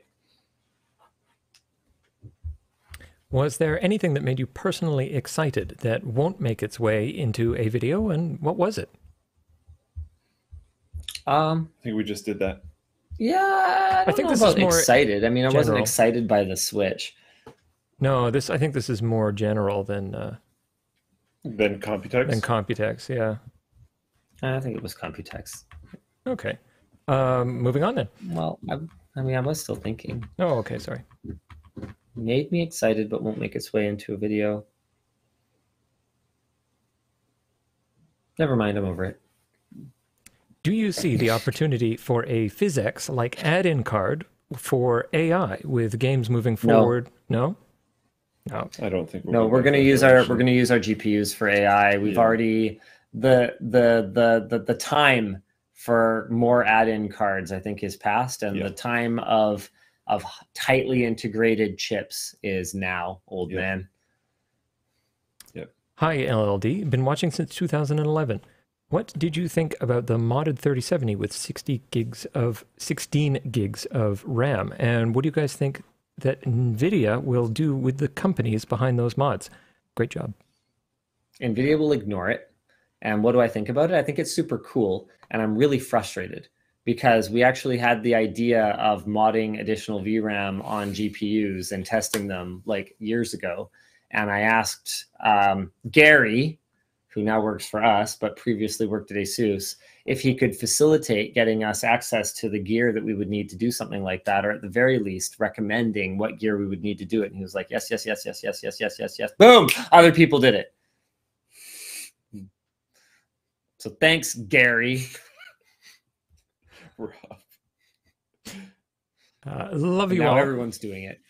Oh well, you still have to. You still have a chance to miss it by another couple of years. Love you all. First purchase: buying ABC for a dear friend's new baby.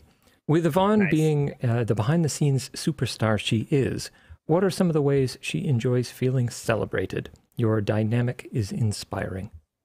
She name companies after her. She just really appreciates that. no, she doesn't like that. Avon Umbrella Corp.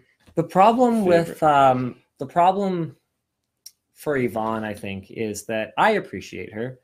I know what she does, but she feels, and in some cases it's not accurate, but in other cases it is. She feels like other people don't necessarily know or appreciate what she does, and so she doesn't want to hear it from me.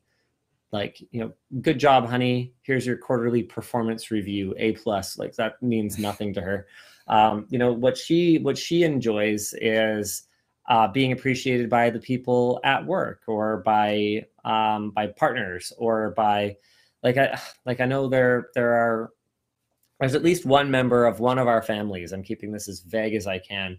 Um, not that it'll make a difference because you know I guess you might know who you are. That just doesn't seem to understand that she doesn't just hang out at her husband's business all day you know like I, I remember a comment was made at some point like three years after our last kid was born it was like so are you ever going to go back to work? And she's like what you mean in the pharmacy? You understand that i am at work right? That i never stopped working really. Um how many times do i have to tell you that i work for our company? Uh like it just yeah it's just it's just rude right? Like it's ridiculous. Um you know i think that you know for her it's it's the there are things that i can do like she appreciates it when i notice just you know casual misogyny and that's not a word that i throw around right? Like i think that misogyny has come to mean just anything at this point. Um i think it's it's it's lost a lot of its original meaning because now all of a sudden everything is misogyny and it's it's it's not. Um, but there but there are things that are you know like the way that uh, you know a contractor will come to the door Oh, man. and I'll answer the door and they'll ask a bunch of questions and I'll be like, yeah, I actually don't know. Um, my wife knows that. Give me a second. And I'll go get her.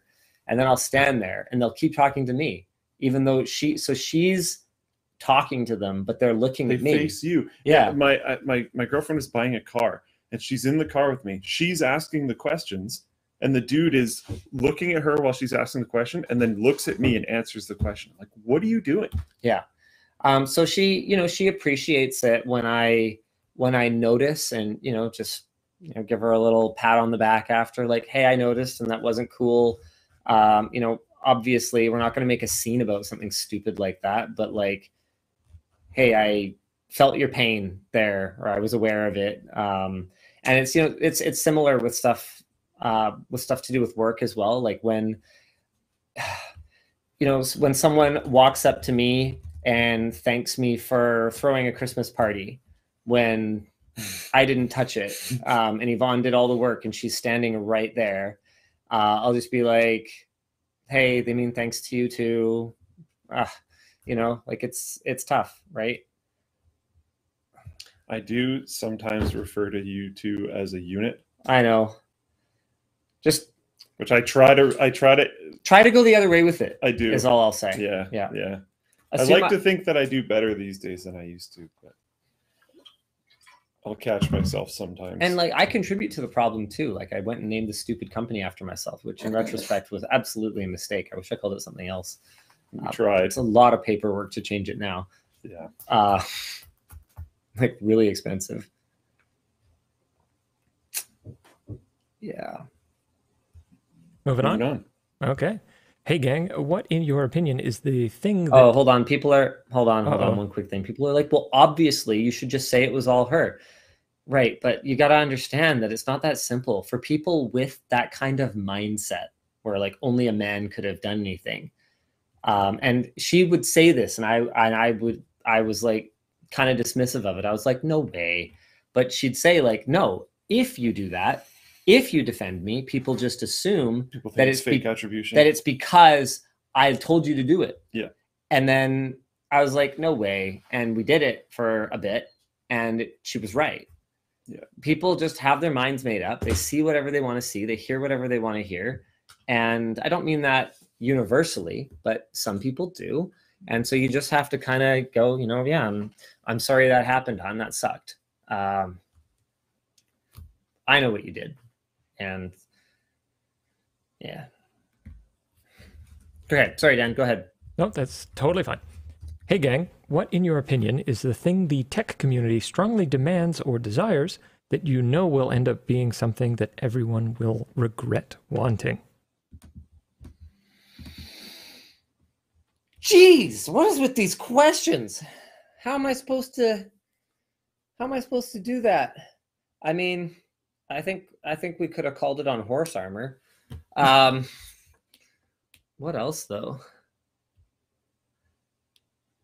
Do you think like do you think AI and gaming is going to be one of those things we regret re- regret regret wanting?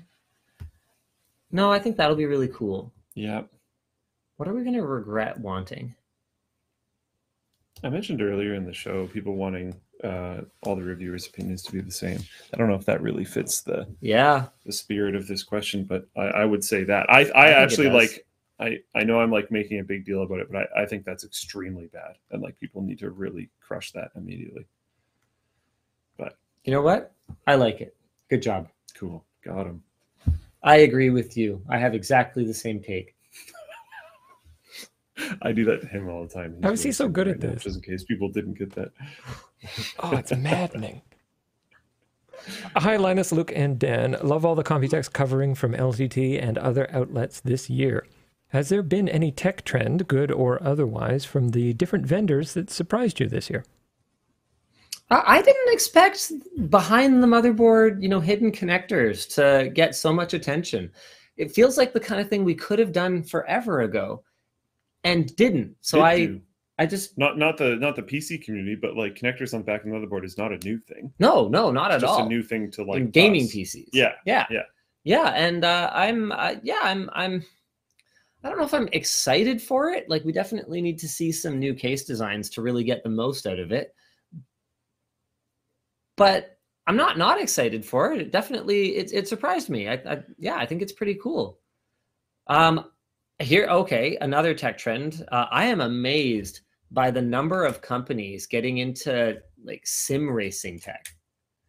Cooler Yeah, Master showed off a chair. That has been weird, hasn't it? EK showed off this entire twenty-five thousand dollar kit. That was very surprising. to me. EK of all. I yeah, I kept asking people like, "You're sure it was EK? It wasn't like someone else?" How many people are buying like multi-axis. I know there's absolutely a community sim for it, but like setups. you'd think it would support like two brands total or something. yeah, Not not not the amount that are in it. like it's it's one of those things where like I know what tooling costs.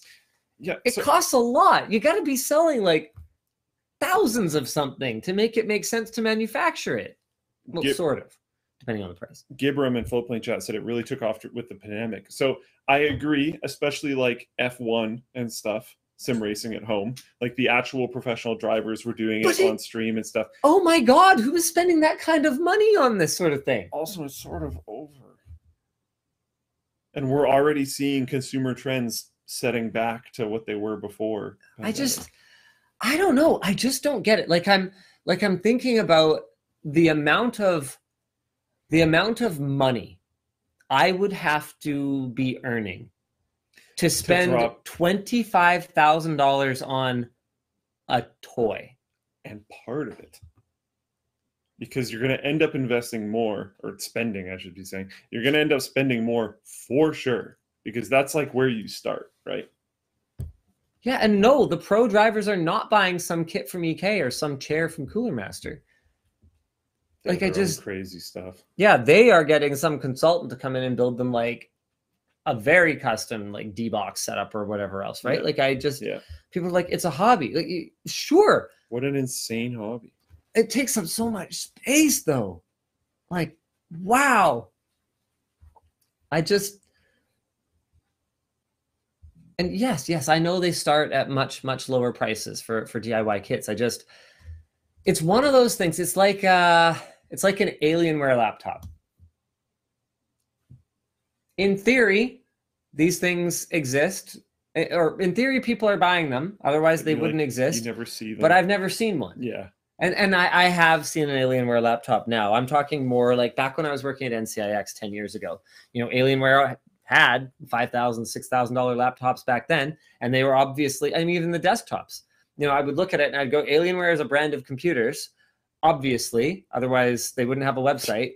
But I've never seen one. You know, I've never seen an actual gamer gaming on one of these. And so it's the same thing.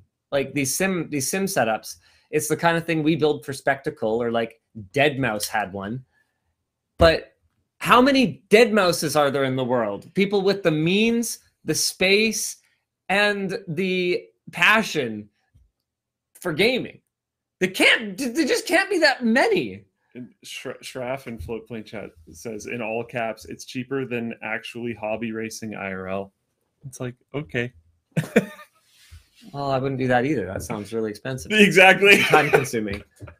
I mean, uh, yeah, I uh and and I, I you know what? This is one of those things where I think I just have to acknowledge that as not a car enthusiast, I will never be able to put myself into the headspace of a car enthusiast. I mean, I I, I know for a fact that Jake has relatively limited space compared to someone like deadmau5 Yeah. and he still feels it's a high enough priority to have a sim racing setup in his computer room. yes. Same for Ed. We saw this in their extreme tech upgrades.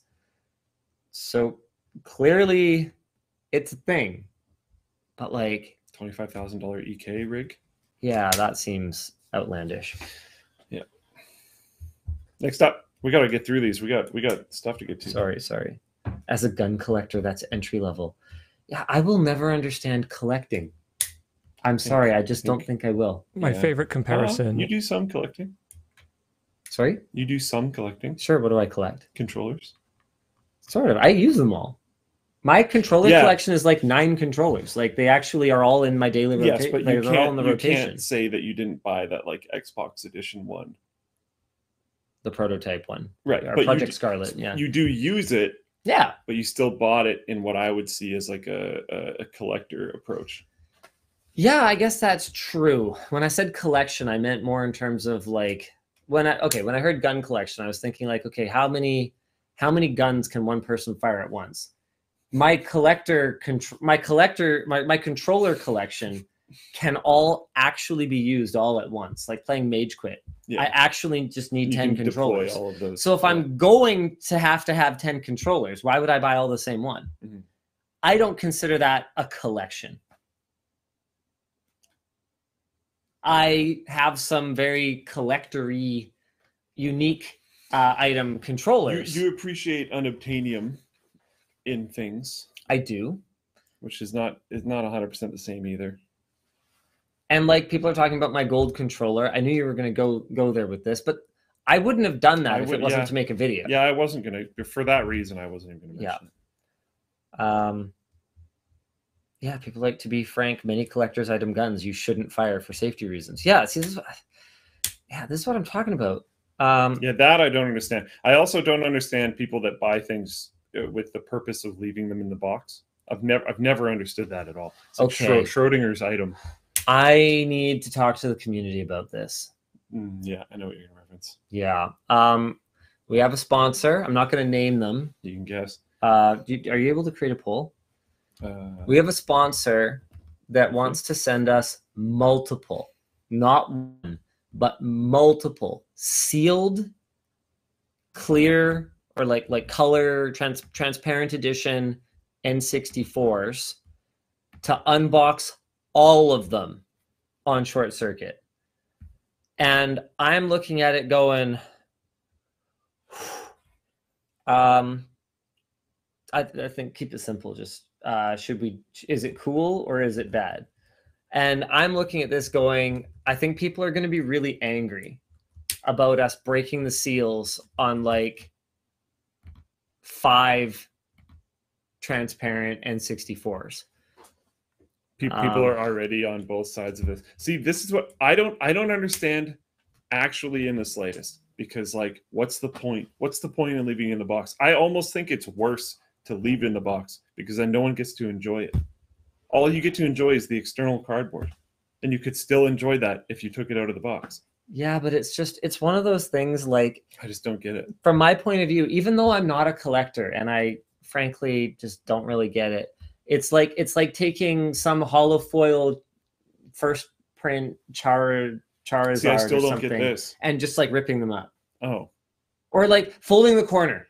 Because you're not you're not ripping it up, but you're like, haha, I made this worth less. Watch me But do it again. could- no, haha, I did it again. I, I don't think that works because you could still play the game with it without doing that. But you could still play the well, You can't play the N64 but we're because you could like treat it nicely. No one's gonna play TCG with a first edition hollow foil Charizard. I totally would, You're an idiot. but I wouldn't buy one. But like, And if I had one, I would sell it oh, because okay. I don't see the value in it. Right? You know, I don't think you're an idiot. Well, no, because I I would never be in that scenario because other people value it so much more that I would sell it immediately.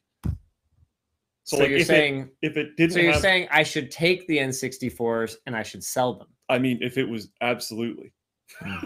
because if if it's in my possession and I can't sell it, like sure I'm gonna open it. Or if if if I have this hollow Charizard, but if I sell it, I go to jail. I don't care. I'm not gonna just leave it on a shelf that has literally, genuinely zero value to me.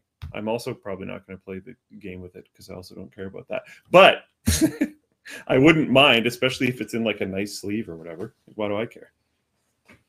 Dbrand responded, "We'll send the bill to Yvonne." I think they misunderstood. I want them to pay to sponsor the funeral. Can't tell with these guys sometimes.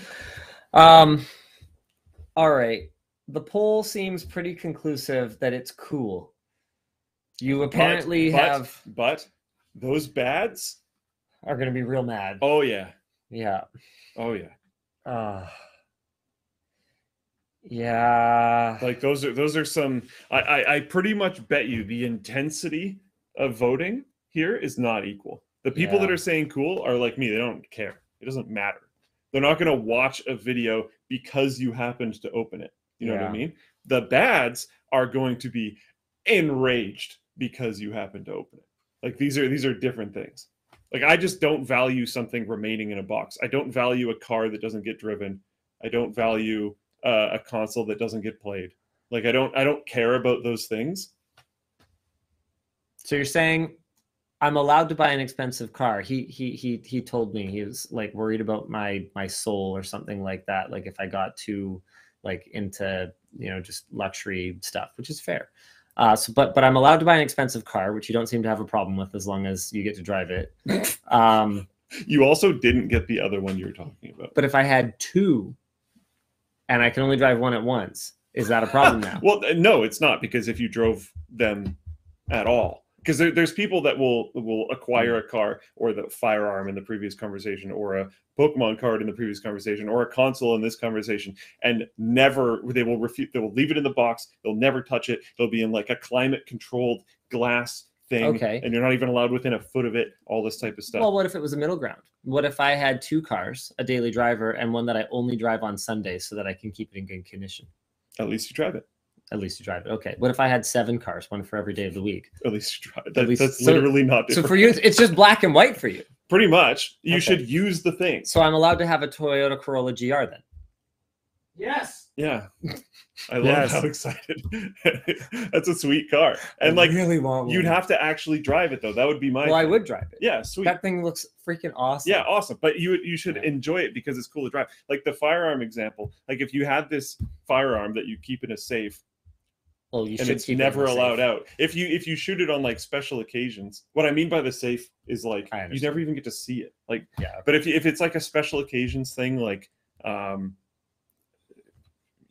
ev- even once a year, as long as it's used, it's like all right. I don't I don't mind that. But like it it feels notably bad to me to just be like, no, I'm going to keep this N64 and it's going to stay in a box forever. And I don't want it to ever be used. I don't want anyone to ever play a game on it. I don't want anyone to ever touch it. It's translucent, which is awesome, but it's going to stay in cardboard. So never, no one will ever see through this translucent plastic. Like what? Ah, that seems that's rough to me. I I actively don't like that.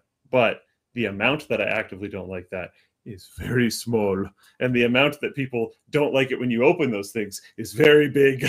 Yeah. Everyone wants me to get the GR. Yes, please. it's a sweet car. Ah, I've been so close like twice. And it just feels really stupid because I can only drive one car at once. I don't think you should actually. But then my Taycan's been in the shop for like almost six weeks. What if you sell the Taycan and get the GR? I'm not going to go back to going to gas stations all the time. Honestly, as stupid and trivial as it sounds, that is a huge part of the reason that I like driving an electric car. I hate refueling. I don't know if you should get it then. Take But the my argument Taycan is maybe powertrain. not the thing that you might think it would be. Sorry. Sorry, yeah, go for it.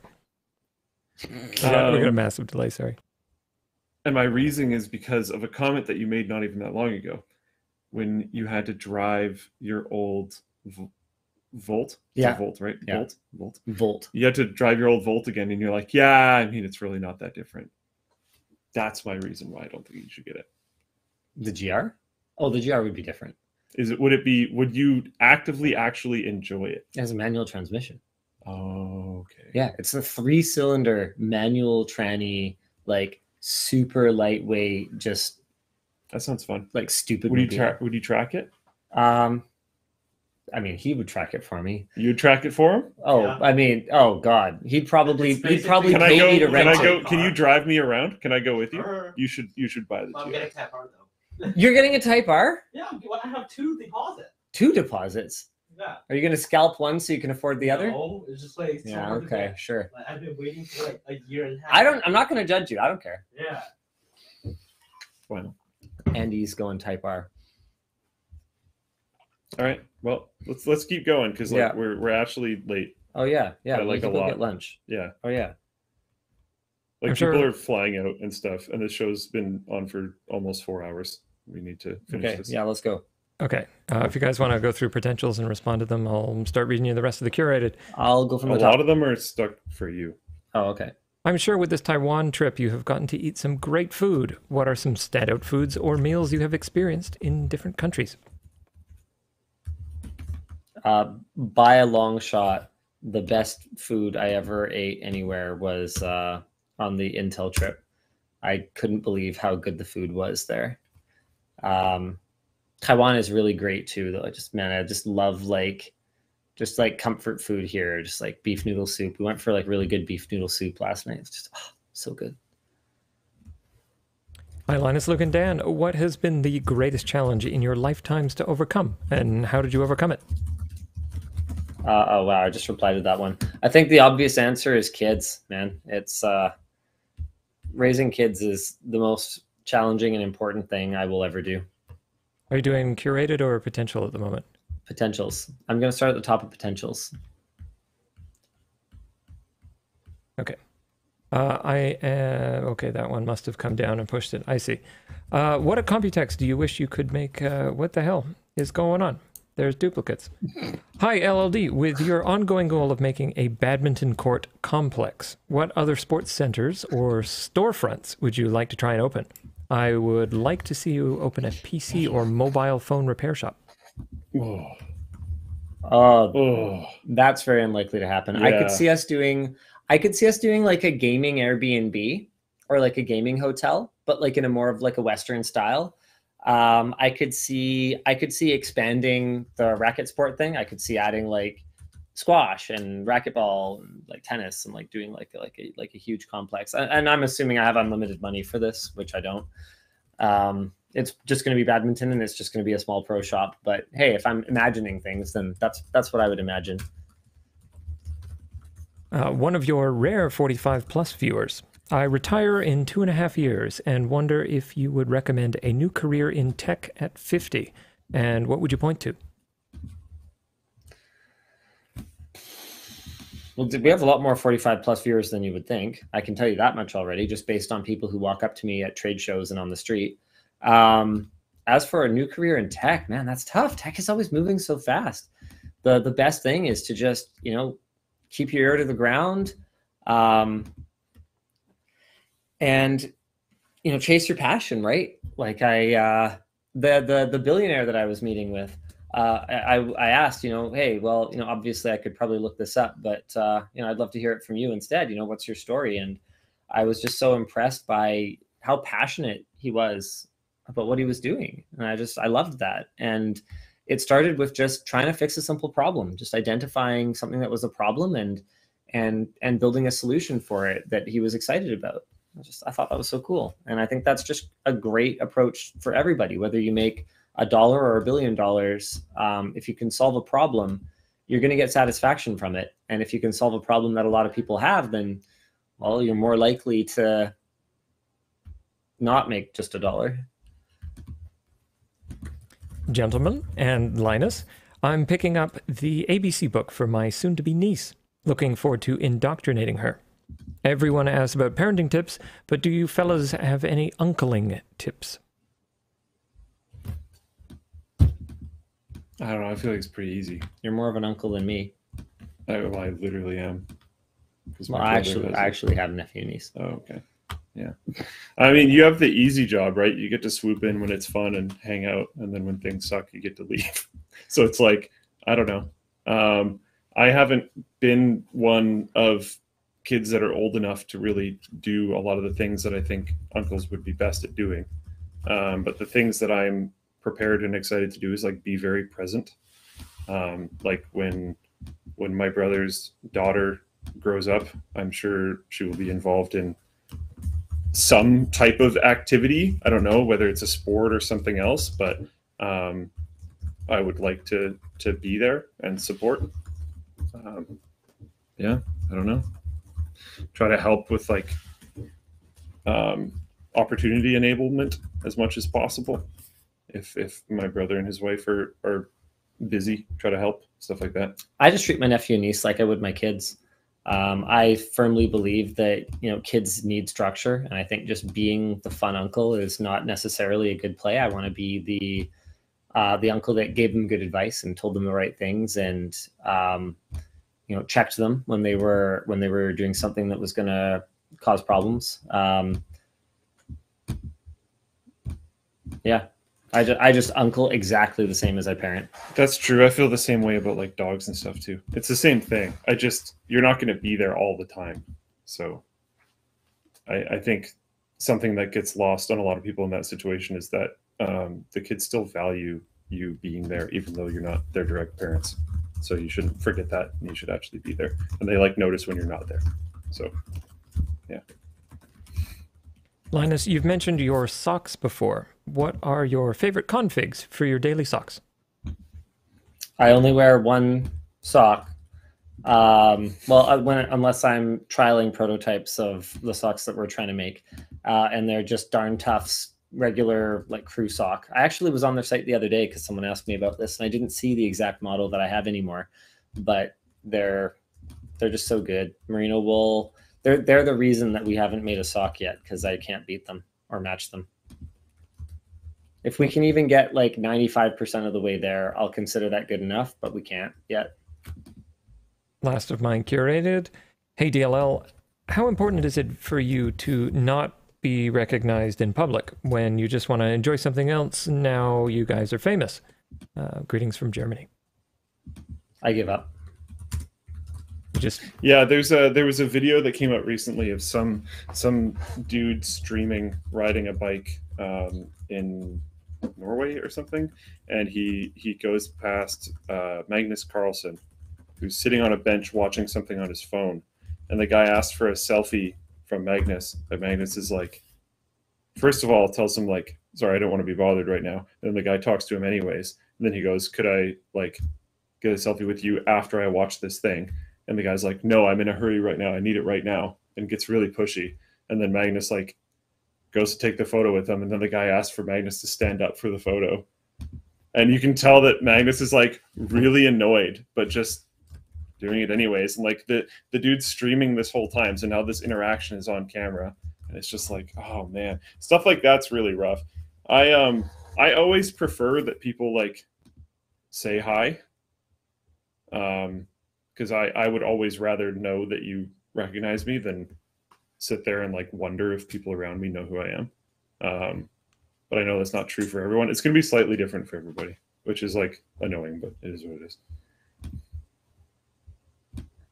so excited to get the 3D down jacket just in time for 90 degree Fahrenheit. Oh, crap. I know what that sound is. Uh, read this one. The alarm's going off. Uh, He's trying to get my attention with his loud beeping. Uh, sorry, guys. Uh, one sec. s- so excited for my 3D down jacket for 90 Fahrenheit weather. That's hot for the Celsius folks out there. I uh, can't wait for the LTT Bro Tank in December. Uh, Linus, what's the first home project you ever did, and how did it go? I assume you mean when I moved into my place, and I'm having a really hard time actually coming up with that. I think I think one of the first kind of home DIY things that I did was actually on video though. I ran an Ethernet cable along the outside of the house to where the media PC is. And I had a contractor help me, but I actually did do some of the work myself as well. And I made a video about it. Um, for me, like networking is the first thing that needs to be improved in a house because typically it sucks. I didn't. Uh, did I do that much handy stuff? Yeah, I guess I started doing it a lot later. Like I don't count, you know, painting the nursery when we had kids. Is that a is that a a, a home project? Yeah. Oh, how did they, how did they define it? what's the uh, first home project you ever did? Yeah, that counts. go? I mean, Painting counts. that went well. I mean, I I paint also painted the um all the furniture for the nursery, painted it white. Uh, so we had this kind of fun. Kind of pastel yellow and and white color scheme in there. Um, man, it's amazing the things you forget. Yeah, I'm gonna go with that. I did that. Okay, the police aren't on their way, thankfully. Um, let's see what we got here. Linus, assuming in your new position you will get a modicum of more free time, what kind of things are you going to pick up in this free time? more hosting um, more coaching i want to do more coaching for our hosts and our shooters and you know help make sure that our everything we upload is is lmge Uh, I hear that there are new firmware updates on the Ally. Have you noticed any improvements uh, that others have not? No um I oh I, I can respond to this other one at the same time from Joshua uh, as uh, responding to how Tears of the Kingdom has been on the Allies so far. It's been oh I've got a couple of these. Raven also asks how's Tears of the Kingdom on the Ally. Uh, the performance I'm getting is not great right now, but I've got to be honest with you. The only time I had to play it was on the plane, and other than loading all the files onto it ahead of time, I didn't really research anything. So I was kind of trying to figure it out on my own on the plane. I tried to apply a 60 FPS mod and it seemed to make performance worse, though I wasn't really sure. Performance seemed lower than it should have been because Breath of the Wild runs amazing on it. And I wasn't really expecting Tears of the Kingdom performance to be that much lower than Breath of the Wild, given that they don't seem to look that different to me.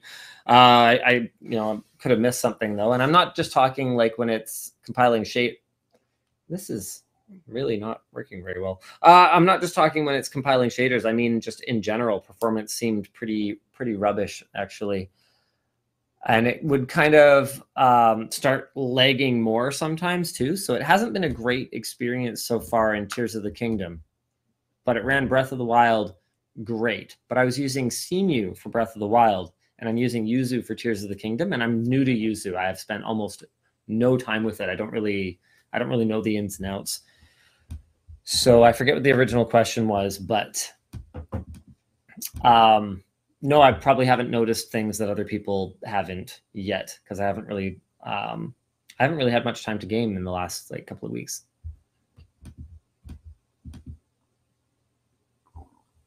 Archive.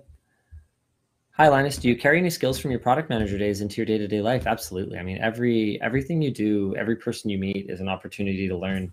And I think that's something that I I do a relatively good job of, is just keeping my eyes open and uh, you know trying to understand better. I actually got um, very some very high praise that that made me really happy when we were working on our framework factory tour, which is coming. Um, the one of the higher ups at Framework uh, used to work in like supply chain for Apple and said that when I did my original framework video explaining why a company needs investment and uh, sort of explaining how the supply chain works, that I got it like 85 to 90% right to the point. And, and like the parts that were like not that were not wrong. They were just like maybe not as thorough. Um, but she she's like super sharp. And so you know whenever i whenever someone gives me praise i always consider the source. So i appreciated her saying that because she seems like a shark. Um, and uh, she said yeah you got it like 85 90% right. And i'm kind of sitting here going how does anyone in the media have any business like knowing this much about supply chain? Because i've just never really seen that before and yeah it's just stuff that i've that i picked up from my product man- management days and from just kind of trying to pay attention try to understand better. Um, the intro for that video is really funny. I i think i wrote it. But basically I, i'm walking down the streets in taipei and i go you know yeah playstation 5s toilet paper framework laptops. I want to buy one but they, if it's not in stock what's the deal with that why don't they just make more of them? And I have ample reason to be angry about the six. There's a six month wait right now for the AMD version of the framework Yeah, laptop. that's pretty rough. And so, so I, I have ample reason to be mad about this because aside from just waiting six months for my laptop, I have a lot of money riding on them being able to deliver freaking product. So why aren't they just making more? Since I'm in Taiwan anyway, I thought I'm going to knock on some doors and figure out what the heck's going on with my investment. And then this is amazing. And I'm sorry to kind of ruin the joke for you guys because it'll be really funny if you don't have it ruined. But anyway, um, it cuts straight from there to me in this like shanty, like back alley. Because when you search for framework, they have an office here, but when you search for framework on Google Maps, it takes you to some, it's labeled bicycle club, but it seems to be like a bus repair garage Oh, or something. Wow. And so I'm just standing and we actually went to the trouble to drive half an hour out of our way to go be at Framework Bicycle Club in Taiwan. And I'm like, there's a bicycle club. Did I just get played? and then it hard cuts to the Compal factory where frameworks are made, Cool. Yeah. and gets into the framework um, the framework tour, which is going to be really really exciting. I've never been in a laptop manufacturing facility. I don't think Compal's ever done anything like that before. It's going to be really cool. And I think that's it for the WAN show. that is it. We'll see you again next week. Same bad time, same bad channel. Bye. Well, different time. This is a earlier time. Yeah.